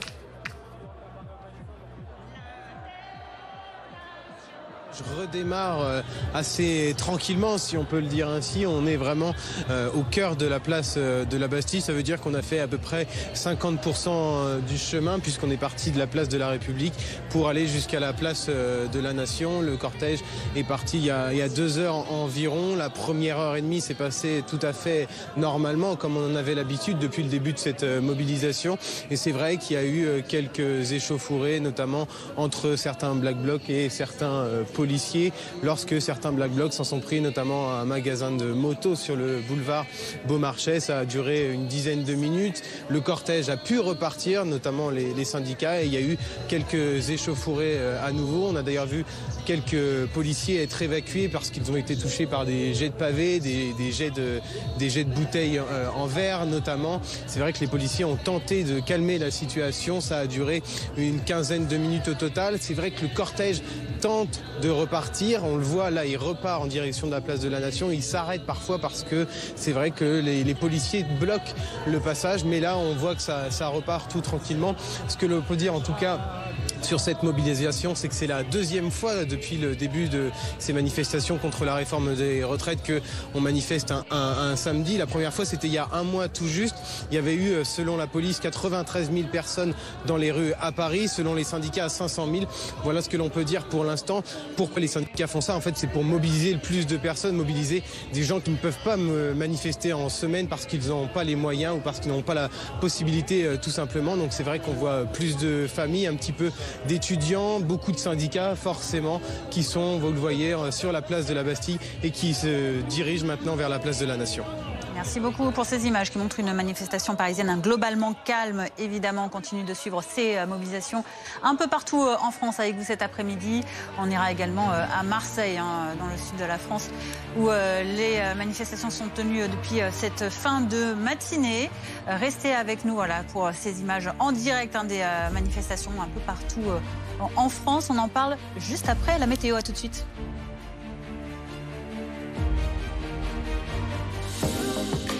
Votre programme avec Rosbay, soin d'excellence pour sublimer vos cheveux. Rosbay.com La météo avec Groupe Verlaine. Installation photovoltaïque pour réduire vos factures d'électricité. Groupe Verlaine, connectons nos énergies.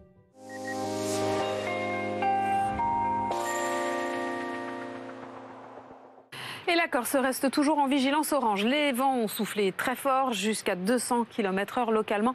Et ça va encore continuer, mais la tendance est nettement l'amélioration puisque tout cela devrait rentrer dans l'ordre, en tout cas s'atténuer franchement dans le courant de la soirée. Ça reste très agité sur le pays, ça circule très vite, ces perturbations d'ouest en est. Vous le voyez ici ce samedi, des pluies assez marquées quand même sur le sud-ouest. Et puis cette matinée de dimanche, eh bien, s'annonce bien maussade, pluvieux sur une petite moitié est, sur le sud-ouest également des pluies faibles hein, le plus souvent, un risque d'avalanche élevé sur les Alpes où il neigera au-dessus de 1700 mètres. Le soleil en Méditerranée, en Corse également. Et le vent toujours présent, mais vraiment un cran largement en dessous. Dans l'après-midi, ça se morcelle, les nuages. On conserve quelques timides éclaircies. Une nouvelle dégradation avec quelques pluies sur la pointe bretonne. Les éclaircies qui gagnent du terrain sur le quart sud-est encore. Un risque d'avalanche élevé. Soyez prudents sur les Alpes. Et puis les températures, des valeurs en matinée qui seront comprises entre 3 et 14 degrés. Très contrastées toujours. 14 à Perpignan, 3 à Strasbourg, 9 à Paris. Et ça monte franchement déjà en journée. 15 degrés à Paris, 23 degrés à Perpignan. Votre programme avec Rosbay, soin d'excellence pour sublimer vos cheveux. Rosbay.com Vous avez regardé la météo avec Groupe Verlaine. Isolation thermique par l'extérieur avec aide de l'État. Groupe Verlaine, connectons nos énergies. C'est votre programme avec BNB Hotel et ça, le bonheur de Max, qui sait qu'il sera toujours bien dans son BNB Hotel favori?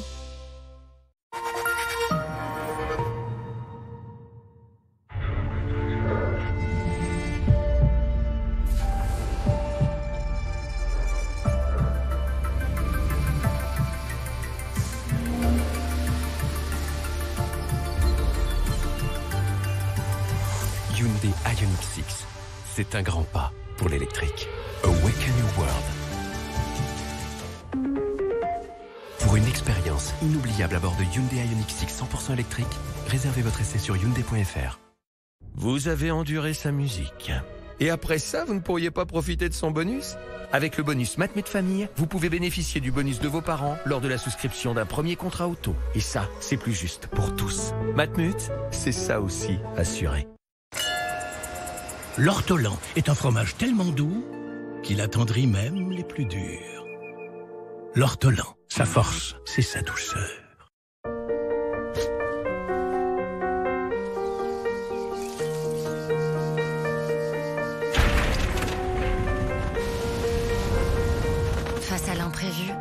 Peut être tenté de baisser les bras.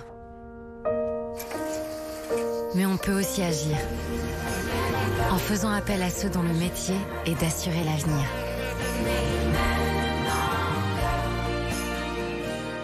Abeille Assurance, donnez des ailes à votre avenir.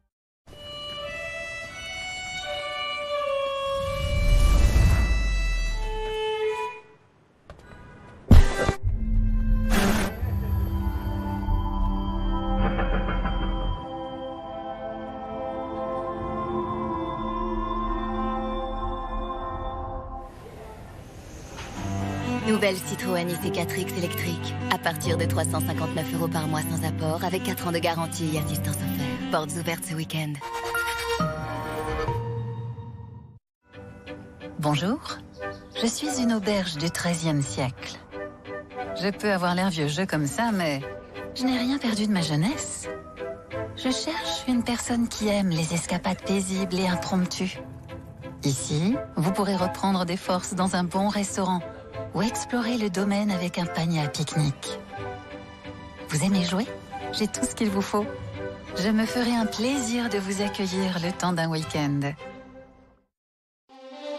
Que voyez-vous ici? L'histoire ou bien l'avenir?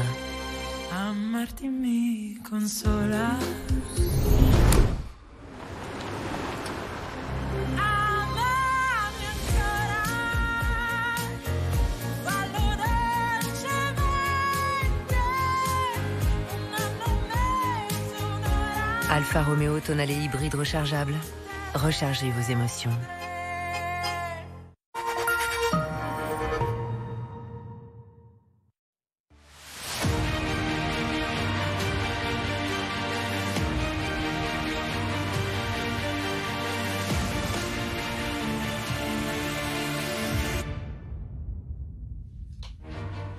Il est 16h, merci beaucoup d'être avec nous sur BFM TV. Journée spéciale pour suivre cette mobilisation, nouvelle journée contre la réforme des retraites. Dans de nombreuses villes de France, 230 actions et manifestations euh, au total cet après-midi. À Paris, bien sûr, euh, à, en région, en province, où la mobilisation semble être euh, moins importante que mardi, notamment. On verra tout ça dans, dans un instant. Les syndicats qui tentent d'intensifier leur mouvement face à l'inflexibilité du gouvernement et avant une semaine décisive pour l'avenir du texte. On va suivre tout ça avec nos reporters sur le terrain et nos invités en plateau. On va repartir justement dans le cortège. Oui, pour voir comment euh, se déroulent ces mobilisations un peu partout euh, en France. On a vu depuis ce matin que euh, globalement, hein, c'était un peu moins fréquenté que mardi dernier dans les villes de, de région. À Paris, comment ça se passe? On rejoint nos reporters sur place. Globalement, une manifestation assez calme, assez pacifique, avec quelques points de tension observés tout à l'heure. Oui, absolument, des tensions qui ont eu lieu il y a environ une demi-heure quand un Black Bloc s'est formé. Il y a eu euh, des euh, poubelles qui ont été brûlées, une boutique de moto qui a également euh, été attaquée par ce Black Bloc, mais très rapidement les policiers sont intervenus euh, avec hein, des euh, lanceurs de balles de défense ainsi que des gaz lacrymogènes, quelques charges, quelques interpellations sur les Black Blocs, mais désormais le cortège est reparti. Nous nous trouvons actuellement au niveau de la place de la Bastille, hein, c'est euh, environ 50% du parcours et euh, le cortège composé de membres de la CGT hein, qui était bloqué derrière les policiers pendant une quinzaine de minutes est également reparti et fait route vers la place de la Nation, point final de cette manifestation. Alors euh, c'est très difficile d'estimer combien de personnes sont euh, dans ce cortège, plusieurs dizaines de milliers c'est sûr. En tout cas euh, le cortège était extrêmement fourni puisque dès le départ de la manifestation, place de la République, il y avait du monde, euh, surtout euh, le boulevard qui mène à cette place de la Bastille. Alors, énormément de pancartes hein, que vous pouvez voir sur ces images, hein, notamment Macron méprisant de la République. On a pu le voir extrêmement souvent, le chef de l'État euh, qui est très régulièrement cité par les slogans, lui qui a choisi de rester en dehors hein, du conflit euh, social qui l'oppose aux syndicats, euh, des personnes qui manifestent, certaines pour la première fois, d'autres qui sont là depuis le premier jour de la mobilisation. Mais un maître mot pour tous les manifestants, ils ne lâcheront rien tant que la réforme ne sera pas retirée. Merci beaucoup pour toutes ces, précisions dans, dans, le cortège parisien pour BFM TV. On accueille sur ce plateau Benjamin Morel. Bonjour, Benjamin.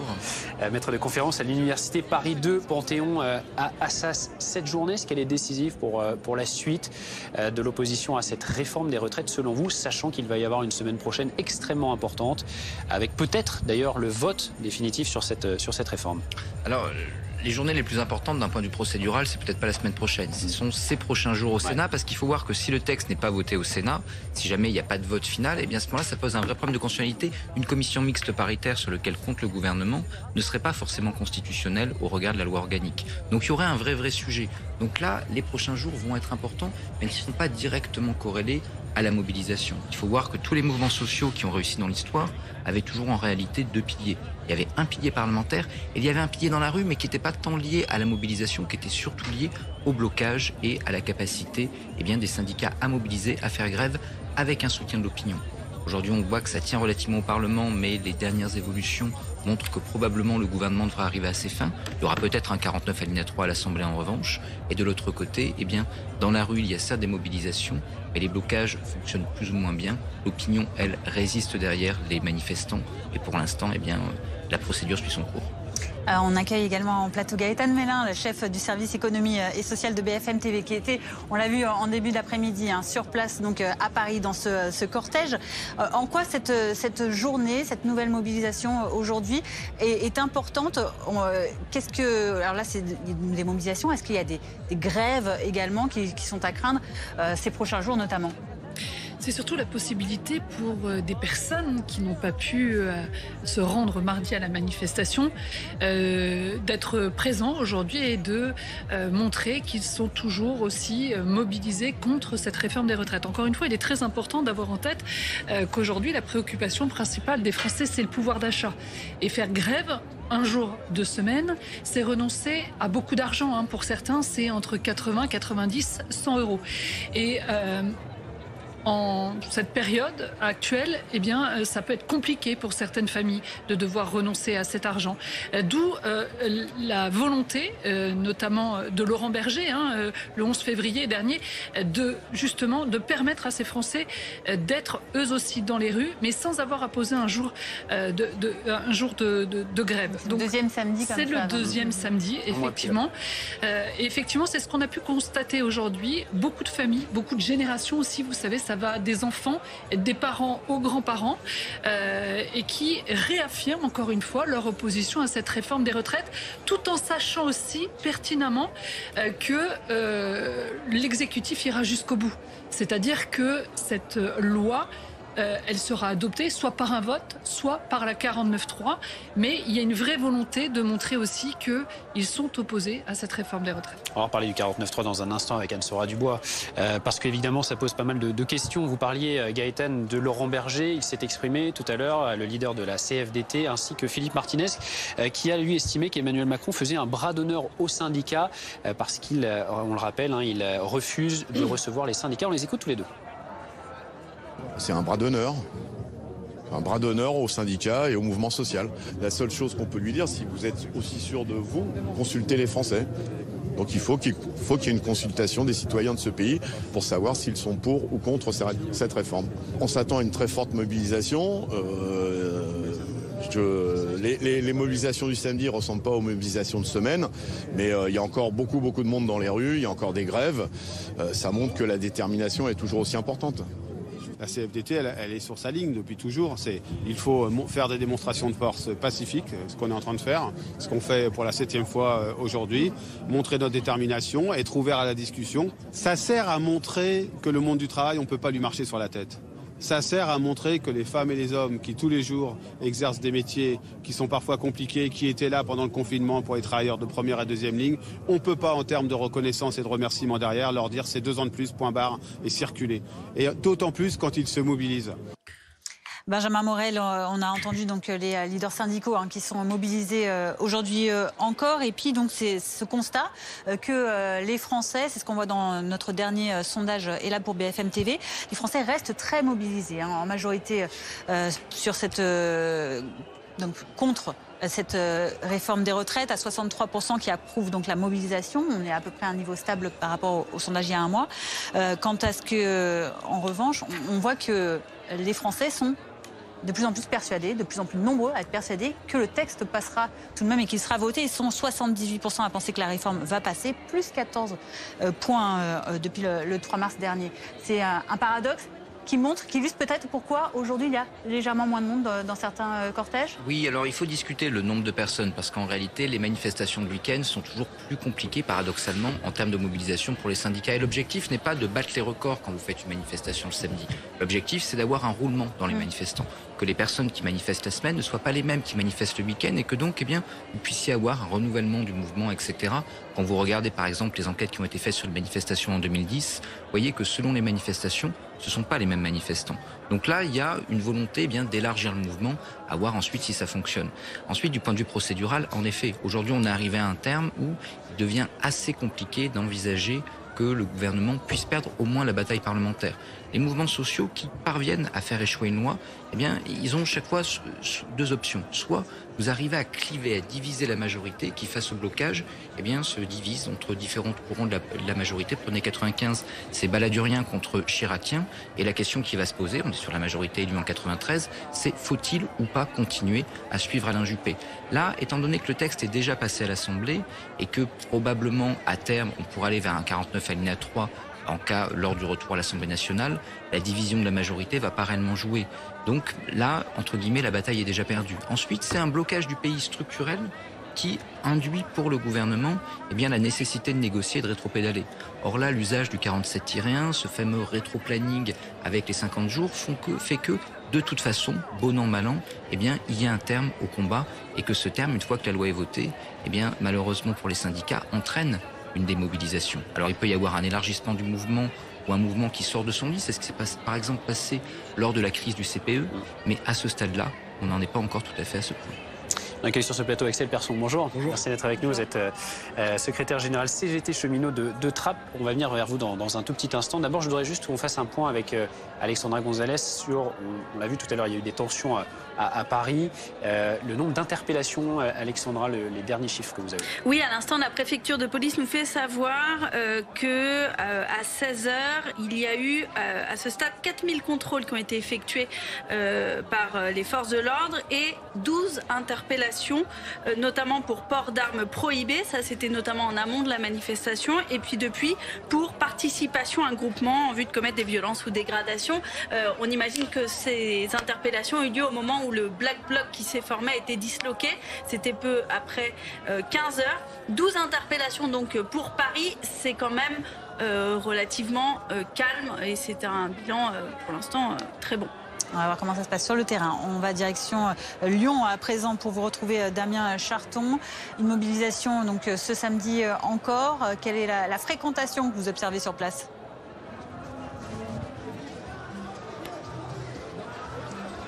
Oui, et eh bien écoutez, à Lyon, euh, le cortège a repris. Il était un petit peu euh, au ralenti avec toujours ces Black Blocs qui sont devant. Euh, un groupe qui s'était formé, qui a dû être un petit peu. qui a bloqué le cortège pendant plusieurs.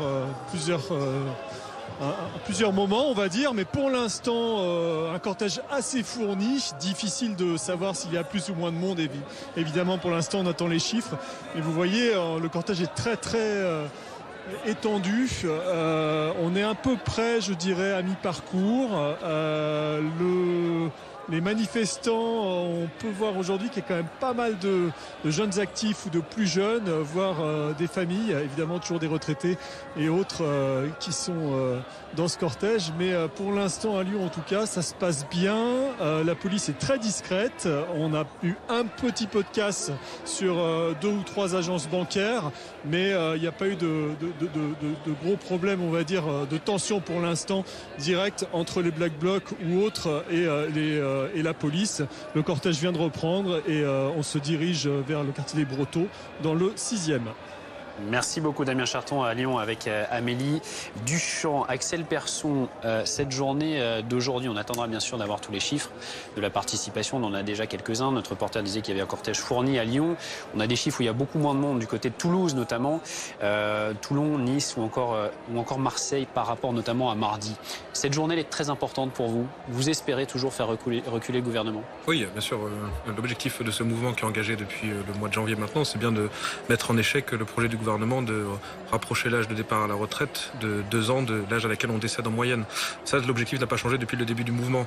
Est-ce que cette journée-là était plus importante que les autres? Je pense que toutes les journées sont importantes, mais ce qui est surtout déterminant, même si les manifestations, je les sous-estime pas. D'ailleurs, je reviens du cortège là maintenant, donc je suis arrivé un peu en retard sur votre plateau. Euh, c'est très important parce que ça permet de placer au cœur du débat politique ben, la revendication qu'on porte, de médiatiser la mobilisation. Mais ce qui est déterminant dans l'affrontement, c'est avant tout notre capacité ou pas à engager des grèves suffisamment puissantes dans un maximum de secteurs pour contraindre le patronat à euh, siffler la fin de la récré. Mais pour l'instant, euh, donc euh, l'épreuve de force elle est engagée, elle va se poursuivre.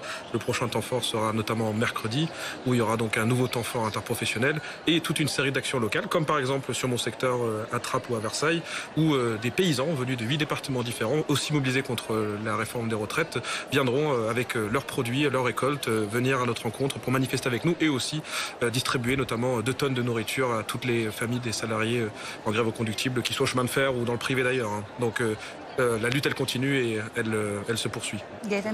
Il faut bien avoir en tête que les personnes qui manifestent aujourd'hui, ce ne sont pas les mêmes que ceux qui manifestent mm en semaine. Mm. Ça, c'est très important. Et donc, si on veut faire une comparaison, il faut mieux se comparer aux chiffres du 11 février. Exactement. Mm. Puisque là, euh, euh, encore une fois, on a vu des gens hein, qui manifestaient aujourd'hui et qui nous, qui nous disaient bah, la dernière fois que j'étais venu, c'était le 11 février, parce que je ne peux pas venir euh, durant la semaine parce que je suis obligé de poser un congé.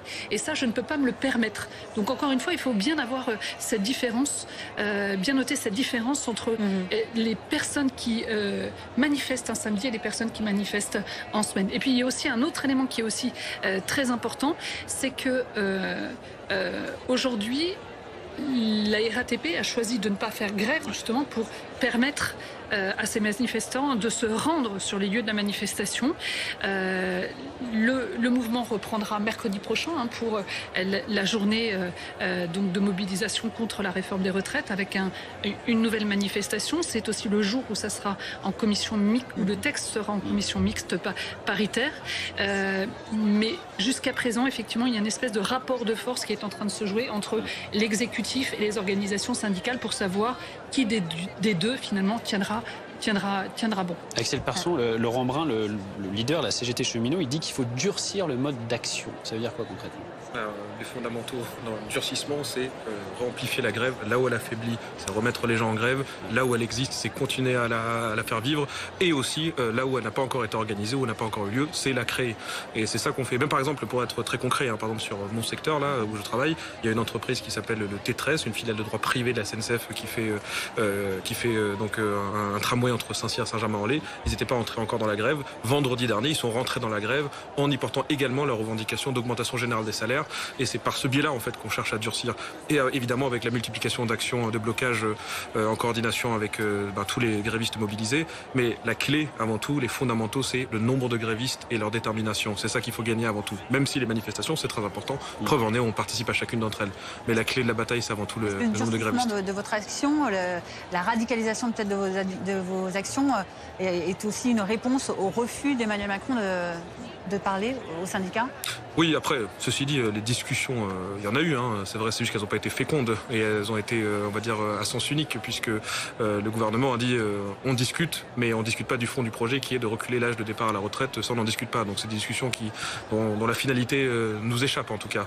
mais donc, est-ce que c'est une réponse à cette position? En tout cas, c'est une réponse au refus pour l'instant euh, du gouvernement et aussi du patronat, il ne faut pas l'oublier, parce que c'est lui le commanditaire de cette réforme, euh, de pour l'instant de bouger les lignes. Donc euh, l'affrontement il se poursuit jusqu'à ce qu'il y en ait un des deux qui cède, en fait, tout simplement. Chacun campe sur, sur ses positions. On voit ces images en direct toujours, hein, ce cortège parisien, notamment, on le rappelle, qui est parti de la place de la République, qui se dirige vers la place de la, de la Nation. Euh, et puis, il y a donc la rue, la mobilisation dans la rue, et puis il y a euh, ce projet euh, de réforme des retraites au Sénat actuellement, qui reviendra donc à l'Assemblée, commission mixte paritaire en principe mercredi. Le lendemain, jeudi, retour à l'Assemblée avec possiblement un vote définitif du texte. Anne-Sora Dubois, il y a aussi la perspective éventuelle du 49.3. Est-ce qu'on se dirige vers un 49.3 utilisé par euh, l'exécutif? Alors la première ministre Elisabeth Borne continue à dire que ça n'est ni son envie ni son objectif, qu'elle va tout faire pour qu'on n'en arrive pas jusque-là. Et à entendre euh, le reste de la majorité, c'est le même son de cloche, on va tout faire pour éviter un 49-3. Il y a quelques personnes au sein de la majorité qui disent que le chef de l'État serait beaucoup moins frileux vis-à-vis de ce qu'on appelle clairement la grosse bertha parlementaire. C'est euh, le, coup de massue euh, au débat de dire on fait passer ça donc sans vote via un 49-3, adoption de la loi immédiatement. Euh, on sait en tout cas, et ça on en est sûr, que la Première ministre fait tout pour qu'on n'en arrive pas jusque-là, parce qu'elle sait très bien qu'au-delà effectivement de ce 49-3, la première conséquence c'est d'abord que ça occasionnerait une sorte de déchirure avec l'opinion qui est déjà majoritairement contre la réforme, donner quand même à cette réforme l'apparence plus démocratique d'un vote à l'Assemblée, c'est quand même un moindre mal par rapport à une opinion non seulement braquée, mais en plus un 49-3. Et la deuxième raison, pour son poste, et la deuxième raison absolument, c'est qu'un 49-3 entraînerait une réaction en chaîne qu'Elisabeth Borne n'ignore pas.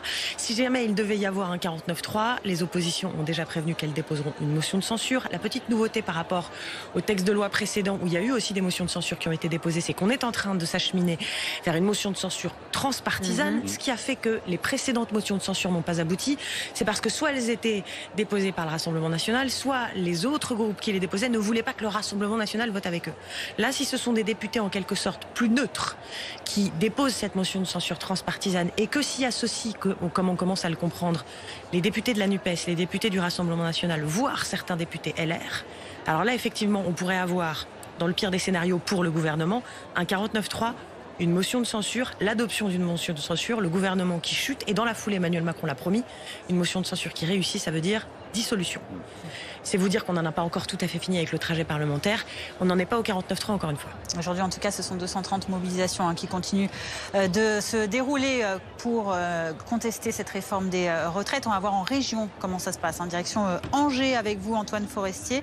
Sur place, donc, les manifestants auprès de qui vous êtes actuellement eh bien, continuent d'être frontalement donc, opposés au texte du gouvernement. Oui, à Angers, la particularité, c'est que cette semaine, on a battu le record d'affluence lors d'une manifestation. On n'a pas encore les chiffres ici. Je suis aux côtés de Magali Lardeux pour Force ouvrière. Vous avez peut-être déjà une estimation là, de, de, de l'affluence aujourd'hui lors de cette manifestation? On sait qu'on est plusieurs milliers, alors que ça fait déjà pour plusieurs d'entre nous quand même des journées de grève d'affilée. Donc c'est et la semaine et le week-end. C'est une mobilisation qui est historique euh, dans la longueur. Donc euh, je n'ai pas de chiffre précis, mais on est plusieurs milliers encore à Angers aujourd'hui. Dans certaines villes, on voit des affluences qui baissent un peu. Qu'est-ce qui explique qu'à Angers, on maintient quand même euh, Allez, c'était 19, 19 000 personnes selon les syndicats euh, mardi, 17 000 selon la police. Qu'est-ce qui explique qu'on a encore des, gros chiffres de participation dans une ville de 150 000 habitants? Ce qui l'explique, c'est la colère. Et je pense que la colère, elle ne pourra que grandir si on continue avec des procédés comme il y a eu hier, avec des 44-3. Et si on va vers des 49-3, je pense que là, on a déjà plusieurs journées de grève pour euh, la plupart euh, euh, d'affilée. On a des secteurs qui sont en grève massive. On va continuer notre travail. Les outils syndicaux sont là pour ça. On va faire les assemblées générales. Et puis on va continuer dans la grève dès que dès la semaine prochaine. Donc euh, partout où on peut, partout où les gens sont encore prêts. Euh, et je pense qu'il y en a beaucoup encore qui sont prêts puisqu'on le voit encore aujourd'hui euh, dans la rue. En parallèle, vous suivez ce qui se passe à l'Assemblée nationale, en ce moment plutôt au Sénat. Admettons cette loi a été votée par les, députés, est-ce que vous continueriez à vous, à vous mobiliser? Bien entendu, cette loi, elle est euh, contraire à, aux revendications de la, majorité des gens. Il y a 9 travailleurs sur 10 qui sont mobilisés et qui sont contre, en tout cas qui sont contre, voilà. Et, euh, bien entendu que les outils syndicaux ne vont pas s'arrêter parce qu'ils euh, auraient réussi leur coup de force ou que quelques-uns ne voteraient pas en fonction du peuple.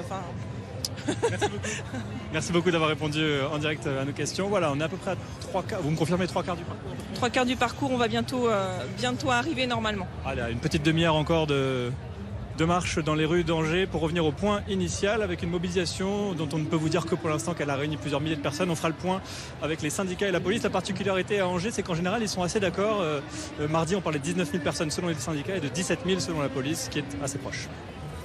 Merci beaucoup euh, Antoine Forestier, donc à Angers pour BFM TV avec euh, Nicolas de Roussy. On va aller tout de suite dans le cortège parisien pour rejoindre notre reporter, faire un petit point sur l'avancée du, cortège qui, on le rappelle, doit euh, rallier la place de la Nation. Oui, ça va de manière extrêmement euh, calme et doucement, euh, pour euh, le dire clairement. Regardez, on va vous montrer sur, sur la gauche de, de l'image. Il y a le cordon de CRS qui surveille l'avancée de ce cortège. Pour l'instant, c'est bloqué. Il n'y a pas de manifestants hein, derrière les, les, CRS que vous voyez ici à, à l'image. Et la place de la Bastille se situe totalement de l'autre côté de cette rue. On est ici sur l'avenue Doménil. L'objectif, vous le savez, c'est de rejoindre la place de, de la Nation.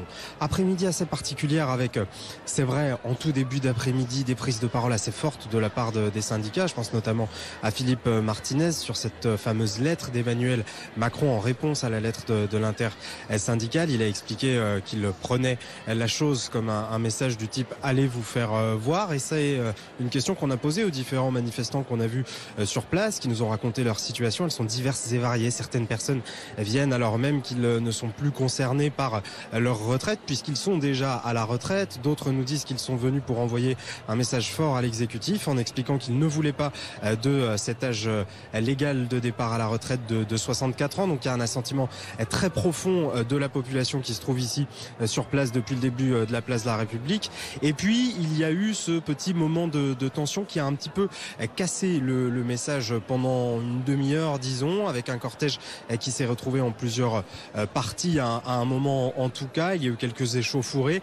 Et donc désormais, vous le voyez, euh, un cortège relativement euh, calme, en tout cas ici à l'avant où euh, nous nous trouvons toujours des banderoles, des pancartes et un message extrêmement clair à, l'attention du gouvernement. Nous ne voulons pas de cette réforme des retraites.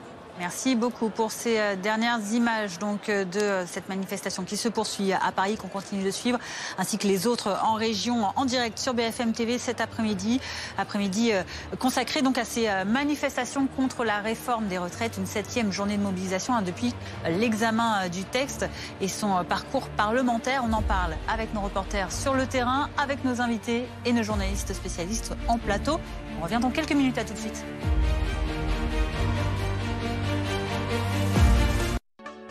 Dimanche. Recherche, diagnostic, traitement, financement. La médecine est en mouvement. Les nouveautés en matière de santé dans Prenez soin de vous. Dimanche sur BFM TV. Votre rendez-vous avec Compex. Sculptez ou affinez votre taille et bénéficiez de massage du bas du dos.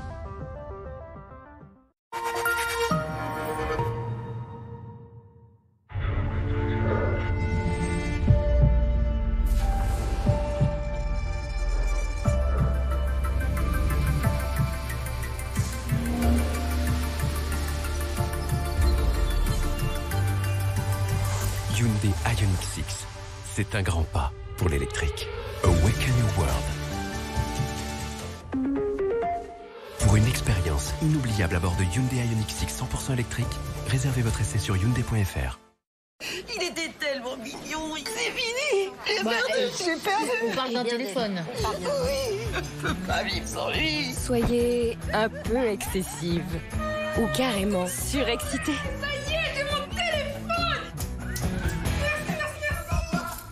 Soyez optimiste.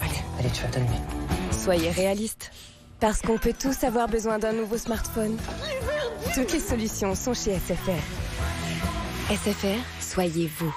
Vous vous êtes déjà demandé à quoi vous ressembleriez avec 10, 15, voire 20 kilos en moins. Comme j'aime, vous offre cette expérience inédite et incroyable. Scannez le QR code juste là et dans moins de deux minutes, vous allez vous voir avec vos kilos en moins. Je vous montre, c'est ultra simple. Vous rentrez vos informations, vous choisissez le poids que vous voulez perdre, et voilà, vous découvrez votre nouvelle silhouette. Allez, scannez vite ce QR code et découvrez votre future silhouette ou rendez-vous sur copgem.fr. Copgem.fr. C'est important, .fr. L'allure. Souvent, ça ne tient à rien. Mais ça fait toute la différence. En ce moment, roulez surclassé avec le Peugeot 3008 Finition Allure. Le brossage et le fil dentaire ne suffisent pas Ajoutez Listerine à votre routine et multipliez par 5 leur efficacité contre la plaque dentaire pour une bouche plus propre et des gencives plus saines. Listerine, complétez votre routine. C'est waouh Alors, oh là là, le monde est beau. Chez Optical Center, la première paire est à moins 40% et la deuxième est offerte. Encore plus beau Je crois que ça marche plus là. Ah non, ça va. C'est juste mon fils. J'ai eu peur. Tu vas peut-être mieux, mais t'es pas devenu plus drôle. Qu'est-ce que t'as dit là? Ils ont des appareils auditifs, hein, si tu veux, papa. C'est vrai. Ah d'accord. Chez Optical Center, voyez et entendez la vie du bon côté. Avec l'offre unique, votre première paire est à moins 40% et la seconde offerte à votre vue, quelle que soit la marque, même en progressif. Dispositifs médicaux, optique et audition. Allez, viens Tout à l'heure. Mais c'est qu'elle s'éclate, les mamans C'est laquelle la tienne? Le... Euh, c'est... c'est, euh, mais c'est celle-là, là. La Volkswagen, elle est super, euh, elle comprend tout, elle, elle lit les panneaux. Elle se garde toute seule aussi. Bonjour madame. C'est si facile d'être fier d'une Volkswagen. En ce moment, jusqu'à 3000 euros d'avantages clients pour l'achat d'une Polo. Volkswagen.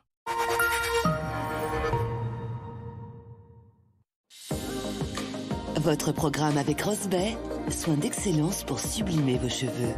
Rosbay.com La météo avec Groupe Verlaine. Installation photovoltaïque pour réduire vos factures d'électricité. Groupe Verlaine, connectons nos énergies.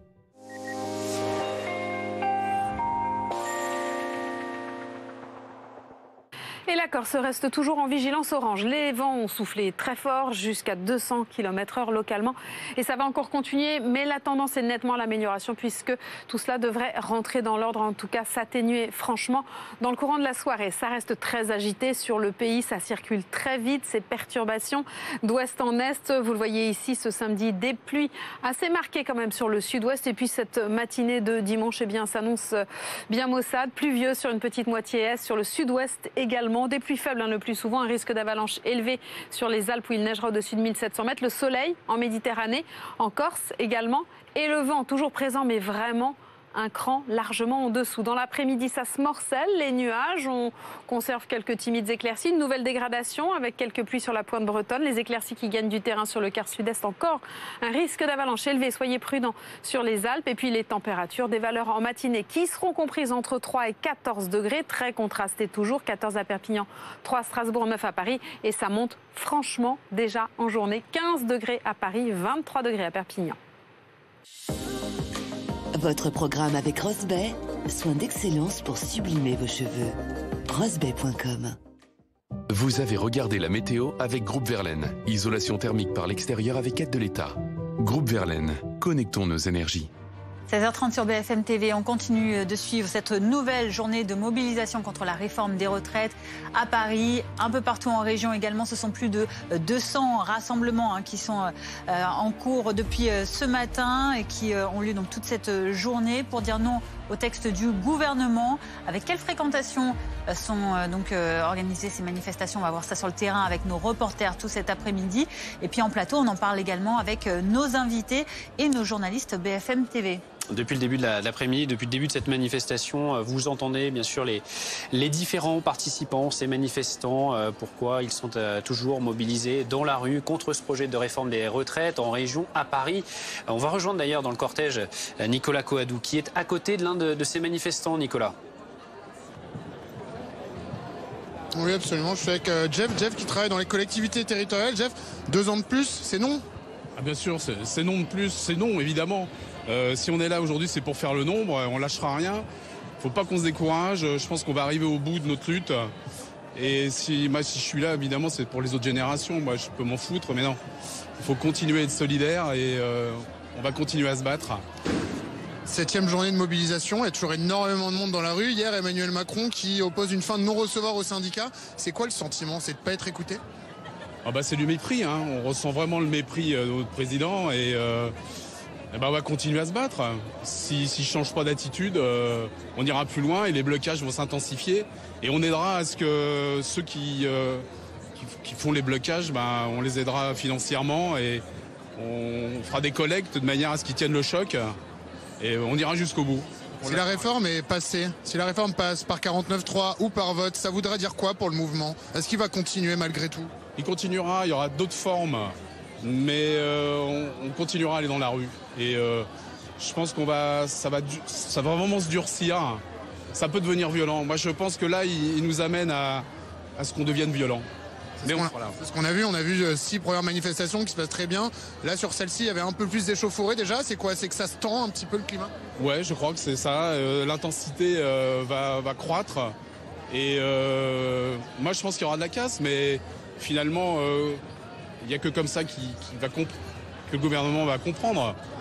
Et euh, bah, tant pis, on va, si nous- ça nous amène à ça, on ira. Moi qui ai 63 piges, euh, moi je suis prêt aussi. à- je suis quelqu'un de terrain. euh, Il n'y a pas que la retraite, hein, il y a aussi les problèmes du climat que- qui sont très mal pris en compte. Et je me bats pour ça aussi. euh, et je serai dans la rue. Mais moi, Bah. je sais euh, comment je vais passer ma retraite. Eh ben, merci beaucoup Jeff pour votre témoignage. En tout cas, on vous souhaite une bonne fin de manifestation. Voilà, vous voyez ce que dit Jeff, c'est un petit peu ce qui résume ce que tout le monde nous dit, une saturation totale, un sentiment de mépris, de déni même d'un gouvernement qui n'écoute pas. Et c'est ce qu'on entend dans les slogans, c'est ce qu'on peut lire euh, sur les pancartes de ce cortège de la manifestation qui actuellement est en train de remonter l'avenue Doménil en destination de la place de la Nation, euh, point d'orgue de cette mobilisation aujourd'hui.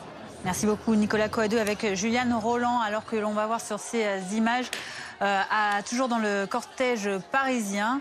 euh, on va le voir sur peut-être d'autres images des, euh, des, euh, un rassemblement donc qui se continue, hein, euh, une manifestation euh, dans le calme euh, globalement avec ces images donc. euh, de euh, la manifestation euh, parisienne. Euh, Axel Persson, on a entendu, euh, alors qu'on voit à droite hein, euh, la, la tension en revanche qui revient euh, ponctuellement euh, euh, sur le parcours de cette manifestation euh, parisienne. Mais on a entendu donc ce manifestant qui disait qu'il reste déterminé, qu'il continue de venir pour montrer son opposition à ce texte et au ce qu'il qualifie de mépris hein, de- d'Emmanuel Macron, mais qui n'hésite pas à dire qu'il il pourrait durcir lui aussi hein, son action. Il n'y voit pas d'opposition. Quand vous entendez ces, réactions, vous, les comprenez, vous qui allez poursuivre, vous nous disiez, cette manifestation jusqu'au bout, jusqu'au retrait du texte, c'est ce que vous espérez? Oui, euh, mais en tout cas, c'est euh, en phase avec euh, le sentiment général de à la fois ceux qui sont en grève reconductible comme ceux qui participent plus ponctuellement à des manifestations. C'est que, au vu du, au vu du fait que le gouvernement et le patronat ne modifient pas pour l'instant leur position et, euh, veulent imposer ce passage en force, euh, bon ben ceux qui s'opposent à ce projet, euh, forcément, sont contraints à, intensifier leur lutte, durcir, y compris par les modes d'action. Mais c'est assez logique. C'est comme ça que ça se passe dans un affrontement. Il y aura un vainqueur et un vaincu, et on verra bien, on verra bien à la fin qui en sortira vainqueur. Ce sera la fin du bal qu'on paye les artistes, comme on dit. Vous voyez ces images en direct euh, avec à gauche donc ce, cortège, à droite ces, ces forces de l'ordre. On est au niveau de l'avenue Doménil pour, pour ceux qui connaissent euh, Paris, euh, avec à nouveau des, tensions. On va rejoindre notre reporter sur place.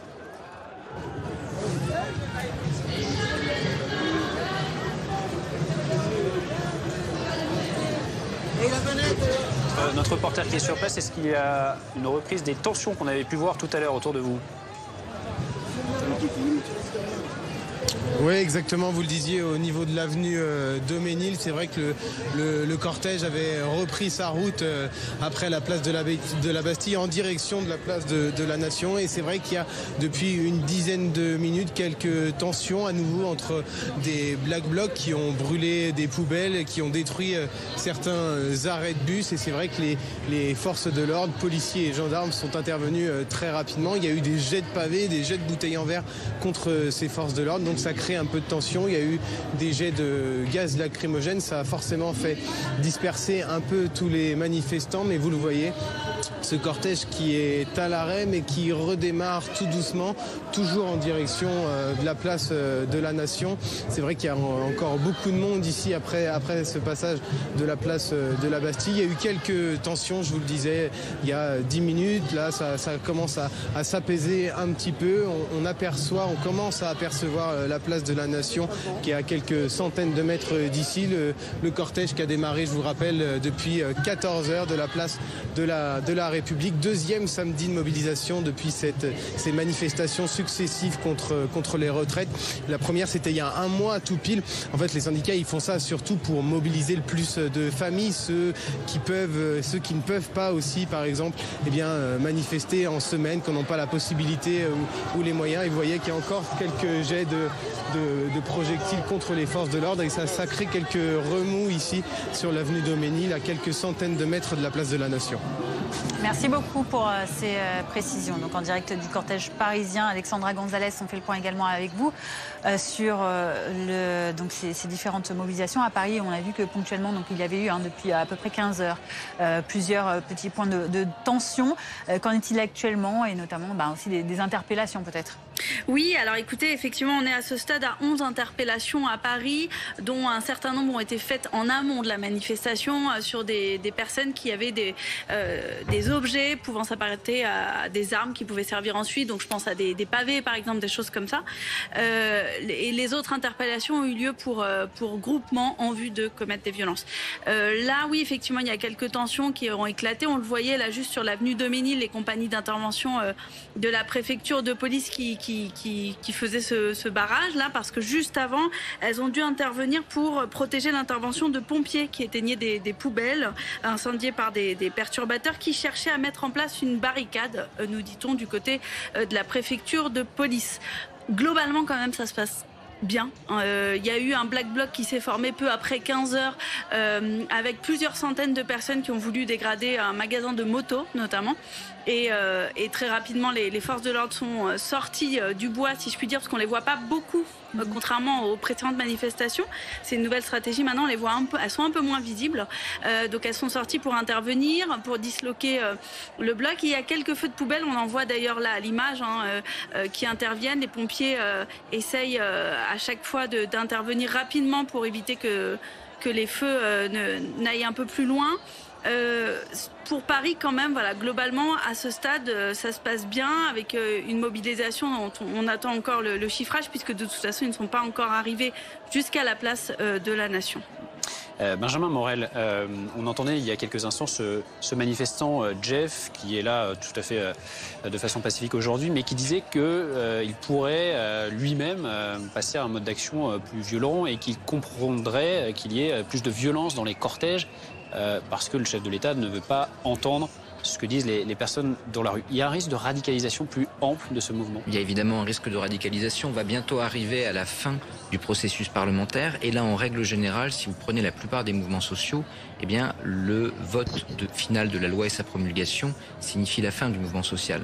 En revanche, quand vous regardez un petit peu ce qui s'est passé dans l'histoire, vous avez deux types de mouvements qui continuent et qui posent problème à l'exécutif. Ce sont les mouvements qui soit s'élargissent en termes de revendications et qui donc, eh bien, tout d'un coup, eh bien, sortent de leur lit, soit des mouvements qui vont se radicaliser dans les méthodes d'action et qui vont devenir problématiques. C'était le cas de la crise des Gilets jaunes. C'était le cas pour des raisons différentes de la crise du CPE, parce qu'à ce moment-là, vous avez les lycéens, vous avez l'université qui sortent et vous, le, vote le vote de la loi ne signifie pas la fin du mouvement.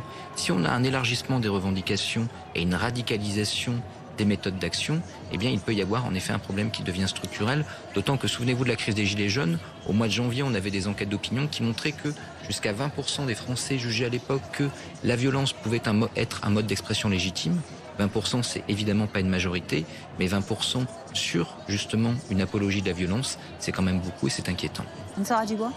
Pour rajouter aussi qu'il y a quand même un contexte social très particulier qui conduit aussi l'exécutif à être très attentif à la façon dont ce mouvement euh, de grève et de contestation contre la réforme tourne. C'est qu'il y a aussi le contexte de l'inflation et des revendications sur les salaires, sur le bien-être au travail. Et effectivement, la crainte, c'est qu'à un moment ou à un autre, tout ça soit englobé dans les mêmes euh, revendications et dans, le même, dans la même contestation vis-à-vis -vis, euh, du gouvernement. C'est pour ça aussi que le mouvement peut s'étendre. Euh, Aujourd'hui, on voit que c'est pas forcément un raz-de-marée dans les cortèges, mais en tout cas, il dure dans le mmh. temps, ce mouvement, et les grèves se poursuivent. C'est la crainte aussi parce que le contexte social est compliqué. Ah, Axel Persson, avant d'aller rejoindre Antoine Forestier à Angers dans un instant, euh, la fin de non-recevoir d'Emmanuel Macron vis-à-vis euh, -vis des syndicats, ça a été pour vous euh, la goutte de trop, entre guillemets? Je ne sais pas si c'est la goutte de trop, mais en tout cas, si c'est la goutte d'eau, elle fait déborder un vase en tout cas bien rempli. Et je me fais écho aux paroles du secrétaire général de la Confédération qui dit que ça a été vécu comme un bras d'honneur, mais pas une surprise néanmoins. Mais bon, un peu la confirmation de la posture précédente, mais qui donc en gros appelle à la poursuite du mouvement, puisque de toute évidence, il n'y a pas d'espace pour discuter sur soit le retrait de ce projet ou même les revendications autres qui sont exprimées par les grévistes à travers le pays.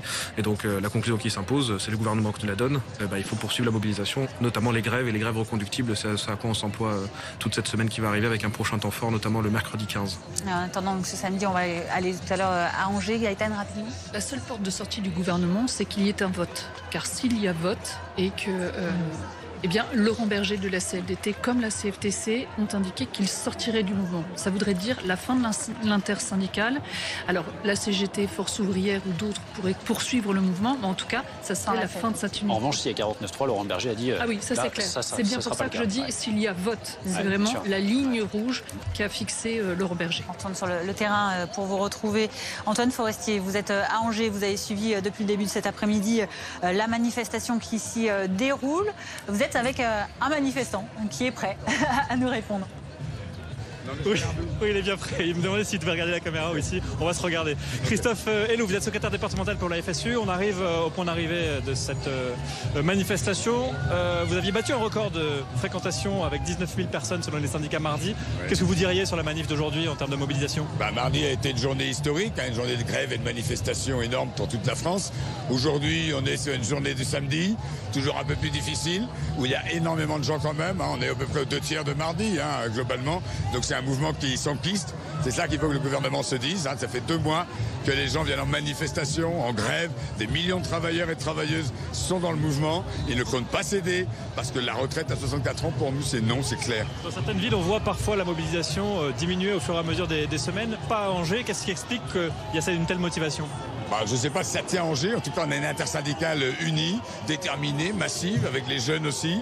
Et la grève, au contraire, est en train de s'enquister dans tout le pays. C'est ça qui est en train de se passer. Et donc euh, les chiffres de manifestation c'est important, mais on n'est pas là pour se compter, hein. on est là pour gagner.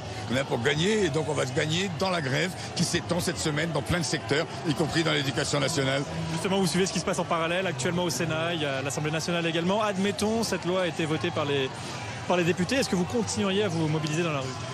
Bah nous, euh, on s'en fout un peu du processus parlementaire, surtout d'un gouvernement qui est quand même très fébrile, minoritaire, tout juste légitime, une assemblée où on a vu que c'était extrêmement fébrile. Donc nous, ce qu'on dit, c'est qu'on refuse ces 64 ans, point barre. C'est tout. Je crois qu'il y a une intersyndicale unie massif là-dessus et on ne lâchera rien, on ne lâchera pas sur cette histoire, que la loi soit votée ou pas. Encore aujourd'hui au Portugal, ils viennent d'annoncer face à des manifestations immenses le retrait d'une loi qui venait de voter. Là, il n'y a pas de problème. Euh, le gouvernement, c'est le gouvernement qui prend une énorme responsabilité et le président Macron, parce que quand des responsables politiques sont devant un tel refus massif d'une population, des travailleurs, des jeunes, la responsabilité politique, c'est d'arrêter. Sinon, eh ben, nous serons responsables nous ne serons pas responsables de ce qui va se passer, de la colère sociale qui s'exprimera nécessairement. Merci beaucoup d'avoir répondu en direct euh, à nos questions. Voilà, la, manifestation qui est en train de se terminer ici à Angers, à peu près 2 euh, heures, 2 heures et demie de parcours dans les rues cet après-midi. Merci beaucoup Antoine Forestier à, Angers avec Nicolas de Roussy. Vous voyez, euh, ces deux ambiances bien différentes sur les, images. À Angers avec ses chorégraphies, ça se passe bien. Et puis à, Paris, dans une partie euh, de la manifestation, il y a ces tensions euh, à nouveau. Donc dans la capitale, on va rejoindre notre, notre reporter. On voit que les, les choses sont à nouveau tendues face à face entre les éléments radicaux et les forces de l'ordre. Oui, tout à fait. Au, niveau de l'avenue euh, Doménil, on a quitté la place de la Bastille il y a à peu près euh, une demi-heure maintenant. Et c'est vrai qu'il y a beaucoup de tensions entre euh, les policiers et ces mouvements radicaux. Il y a beaucoup de black blocs ici. On est à quelques centaines de mètres de la place de la Nation. C'est vrai, qu'il y a beaucoup de poubelles qui ont été brûlées. Il y a beaucoup d'abribus qui ont été complètement détruits. Et c'est vrai qu'on voit ces policiers qui reculent en tout cas.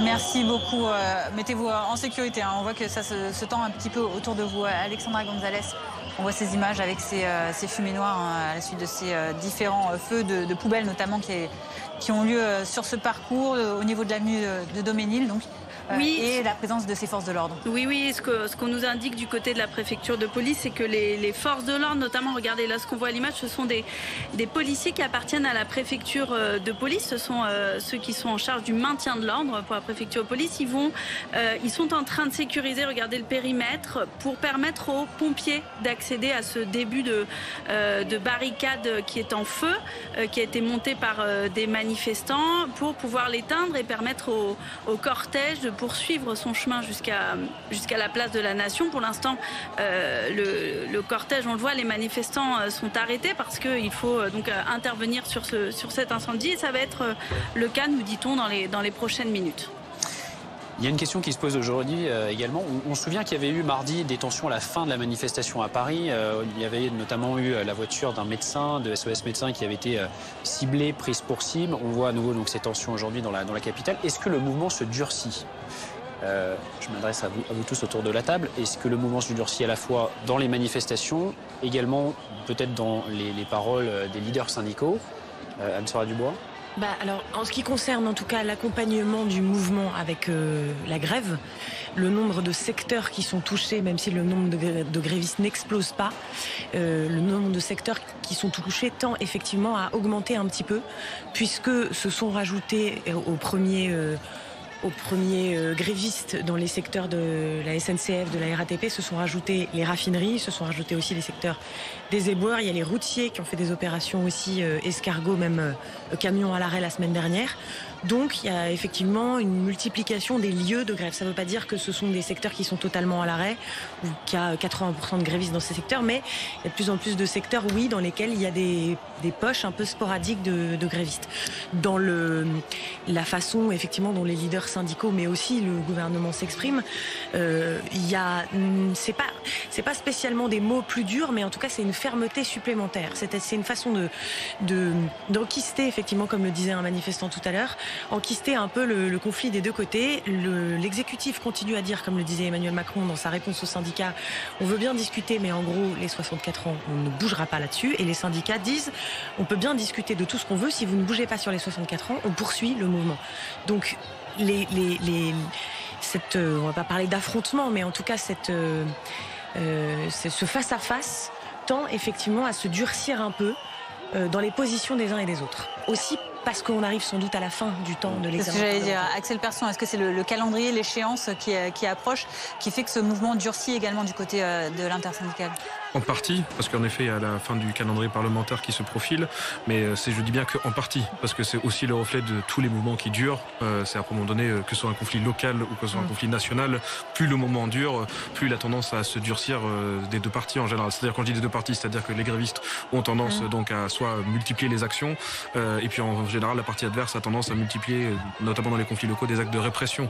Donc euh, ça c'est des, euh, c'est un- une dynamique assez classique dans un conflit, et euh, il nous appartiendra à nous, en tout cas militants ouvriers, euh, toute la semaine là, la meilleure carte qui nous reste à jouer, euh, ben, c'est la multiplication des grèves. Là où elles ont faibli, les renforcer. Là où elles n'ont pas encore eu lieu, ben, les créer et euh, faire du 15, euh, du, du 15 qui est le prochain temps fort une réussite. Et on appelle tous ceux qui nous écoutent ben, à se remettre en grève s'ils ne l'ont pas déjà été à partir du 15. Et j'ai bien dit à partir du 15 à nouveau. Un petit mot sur ces violences que, que vous voyez. Qu'est-ce que, qu'est-ce que vous en pensez? On rappelle, vous avez le soutien de l'opinion publique, euh, une grande majorité de Français qui, qui sont de votre côté. Est-ce qu'avec ça, ça risque pas aussi de faire basculer le, le mouvement? Bah, en croire en tout cas les, euh, les- en, tout, en tout cas en croire les sondages d'opinion euh, euh, c'est toujours un peu dur de commenter à brûle pour point comme ça des images euh, Oui, oui, le sûr, cortège parce qu'on ne sait pas en réalité ce qui s'est passé à part sur Ouais. le moment le moment le moment T là. Mais d'une manière générale, les mais de manière générale euh, ceci dit j'ai pas l'impression aujourd'hui que ça modifie fondamentalement le, le- le positionnement de bah, des salariés quoi. Peu importe les incidents qu'il y a dans les manifestations les pas affrontements. soutenir ces incidents. Bon, après, je sais pas Les soutien ou pas, ils en font partie, on sait qu'ils sont quasiment récurrents. Nous, on dit Mais vous condamnez les, les violences nous, on dit qu'en tant que militants ouvriers, à tous ceux qui veulent s'opposer à cette réforme, on pense, est-ce qu'on se trompe, je ne sais pas, mais on pense que la meilleure façon, c'est pas forcément de brûler par exemple des poubelles.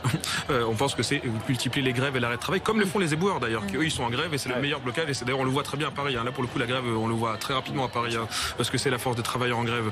Euh, D'autres pensent, euh, je pense à tort, que euh, par exemple les feux de poubelle euh, ne sont pas de nature à élever le rapport de force. Donc on a ces désaccords là avec euh, avec une partie du mouvement social, mais bon, ça date pas d'aujourd'hui, quoi.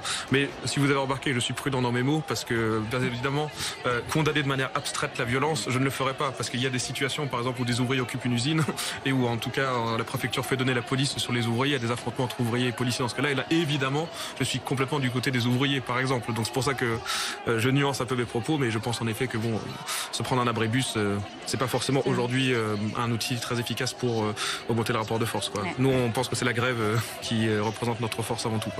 Alors qu'on voit encore hein, ces, feux euh, en cours euh, sur donc, cette avenue Dominil à Paris. On va reprendre la direction du terrain pour vous retrouver nos reporters hein, sur place qui observaient donc ces scènes de tension entre certains participants à cette manifestation, visiblement des, Black Blocs, confrontés donc aux forces de l'ordre sur place.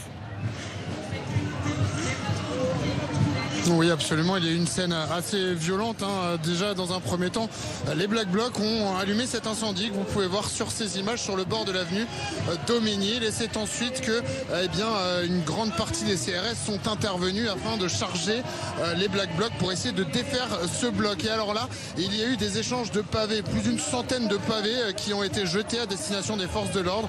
Et avec forcément, vous voyez ces images. Alors, je ne saurais pas vous dire ce qui est arrivé à ce monsieur malheureusement, mais en tout cas, deux personnes sont actuellement euh, soignées par les street medics, hein, ces médecins de rue, médecins de manifestation, euh, pour des plaies au niveau euh, de la tête. Mais en tout cas, ça exprime bien à quel point cet échange, hein, cette embardée entre les policiers et entre les manifestants a été extrêmement violente parce que une fois qu'il y a eu cet échange de pavés, de gaz lacrymogène, les policiers ont tenté d'établir un cordon afin de ralentir l'avancée des Black Blocs qui eux tentaient tout de même d'avancer en criant ce slogan on avance, on avance, on avance, qui forcément a donné lieu à des échanges de coups de matraque et à des euh, pavés. À ce stade, hein, euh, c'est toujours très chaotique hein, sur ces images, mais les tensions entre manifestants et entre Black Blocs sont en train de se calmer. Le cortège qui reprend encore une fois, une fois de plus, la destination de la place de la, euh, de la Nation, pardon, qui est donc le point final de cette manifestation aujourd'hui.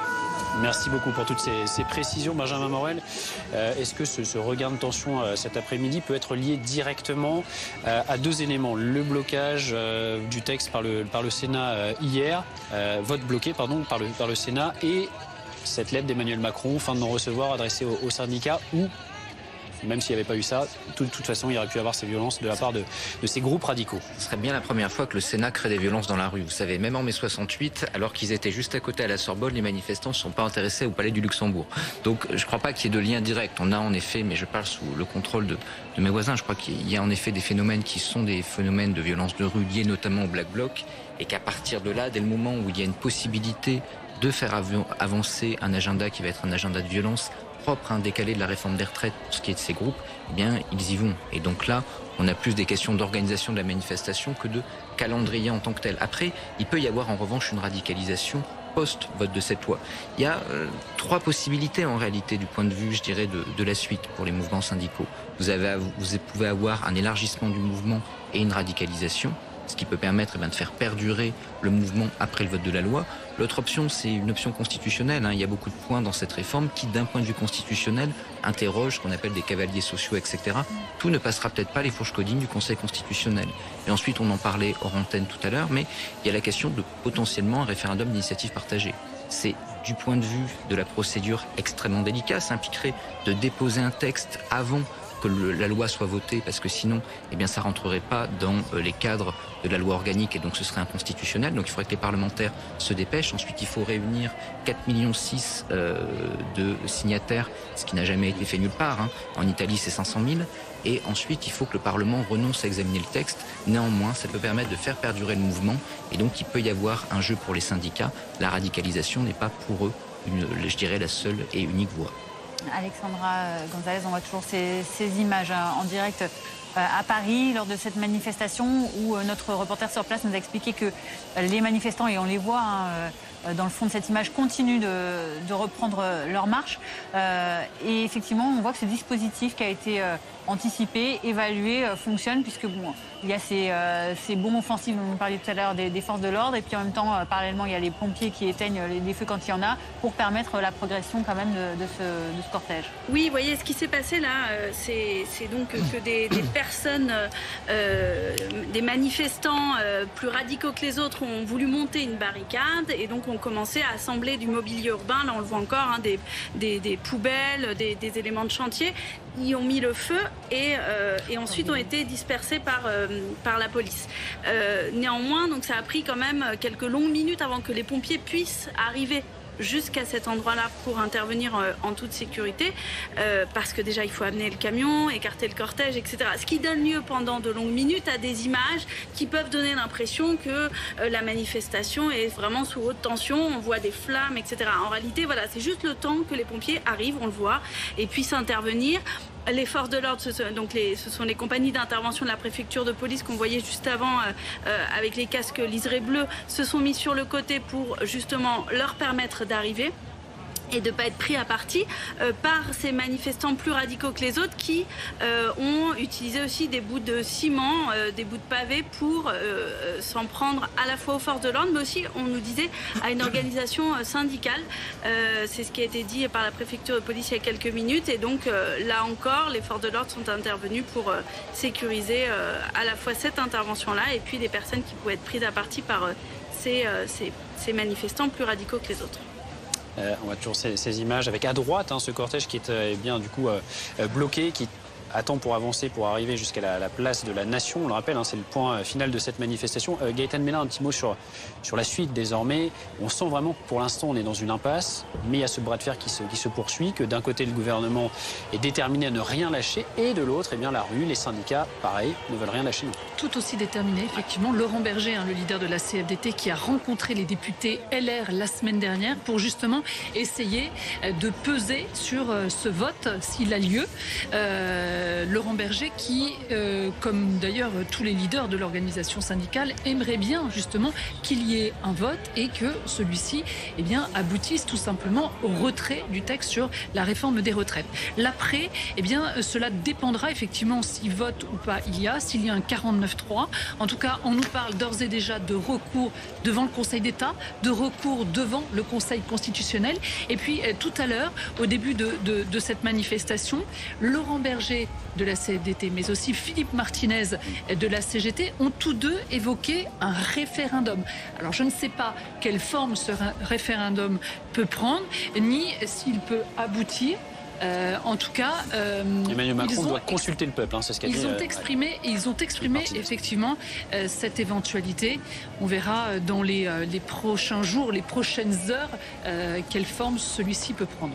Cette journée spéciale hein, consacrée à ces mobilisations, plus de 200 un peu partout en France, se poursuit avec ces images, notamment donc, du cortège parisien cet après-midi, qui est parti donc, de la place de la République aux alentours de 14h pour rejoindre la place de la Nation. Et ces manifestants qui peinent à rejoindre cette place de la Nation, puisqu'il y a eu quelques scènes de, de, tension. On les voit sur ces images en direct et on rejoint nos reporters sur place pour nous expliquer ce qu'ils observent en direct sur le terrain. Oui, on voit en tout cas que les pompiers sont en train d'intervenir ici sur cette avenue de Ménil. C'est vrai qu'il y avait eu un, assez gros feu qui avait été démarré, qui a démarré ici en tout cas. Vous voyez des vélos en libre service qui ont été brûlés, des poubelles, du mobilier urbain également, certaines palettes qui ont, été rassemblées ici pour être brûlées. En tout cas, les, pompiers sont intervenus. Ils ont mis un peu de temps à intervenir forcément parce qu'il y a, je vous rappelle, une manifestation sur cette avenue Donc ils ont mis un peu de temps à intervenir. Il y a toujours beaucoup de fumée, mais c'est parce que les pompiers terminent, leur intervention ici sur cette avenue de Ménil. Mais vous allez peut-être le deviner, il y a après la manifestation eh bien, qui, se poursuit, excusez-moi, la manifestation qui se poursuit parce que eh le cortège continue sa route. On va le voir sur ces images en tout cas. On va encore vers la place de la Nation. On a quitté la place de la Bastille il y a un peu plus d'une demi-heure. Il y avait eu quelques tensions boulevard Beaumarchais entre la place de la République et la place de la Bastille. Ça s'était très vite calmé, tout était rentré dans l'ordre. Le cortège avait eu un peu de mal à, à, joindre la place de la Bastille, puis était reparti tout tranquillement, cette fois en direction de la place de la Nation. Et c'est vrai que sur cette avenue de Ménil, ça a commencé à, à chauffer assez fortement entre les forces de l'ordre, policiers et gendarmes et les Black Blocs. Les Black Blocs ont pris à partie ces, ces policiers et ces gendarmes en jetant des pavés et des bouteilles en verre. C'est ce qu'on a vu en tout cas sur cette avenue de Ménil. Il y a eu du mobilier urbain détruit, notamment des abribus. C'est vrai qu'il y a certaines vitrines aussi qui ont été détruites et vous allez le voir sur, euh, ces images. Euh, quelques poubelles ont été également euh, brûlées sur cette avenue de Ménil, vous le voyez. Et vous voyez au fond, vous devinez au fond eh bien, le cortège syndical qui poursuit sa route en tout cas sur cette avenue de Ménil, en direction toujours de la place de la Nation. Un mot sur cette mobilisation, parce que c'est euh, l'objectif de cette journée, c'est le principal animation de cette journée, c'est la deuxième mobilisation syndicale un samedi depuis le début de cette euh, mobilisation contre la réforme des retraites. La première, c'était il y a tout juste un, mois. En fait, les syndicats, ils font ce, genre de journée, ce genre de mobilisation pour tenter d'adhérer, de, de, faire fédérer un maximum de, de personnes, ceux qui, peuvent, ceux qui ne peuvent pas venir en, semaine, ceux qui n'en ont pas les moyens, les capacités financières, parce que c'est vrai que faire grève, eh bien, ça coûte cher. Eh bien, le samedi, c'est plus pratique pour ces gens qui n'ont pas à faire grève et donc qui ne perdent pas un jour de travail. Ils peuvent venir manifester tranquillement sans perdre euh, d'argent. C'est vrai qu'il y a beaucoup de familles, beaucoup de leaders syndicaux, beaucoup de délégués syndicaux, certains étudiants également qui sont là sur cette avenue de Ménil, en, toujours en direction de la place de la Nation. Pour faire un point sur la mobilisation d'il y a un mois, il y avait eu 93 000 personnes dans les rues de Paris selon la préfecture de police, 500 000 personnes selon les syndicats. On sait qu'il y aura un petit peu moins de monde, en tout cas aujourd'hui, par rapport à ce y a, qu'on a pu voir il y a un mois ici dans les rues de Paris.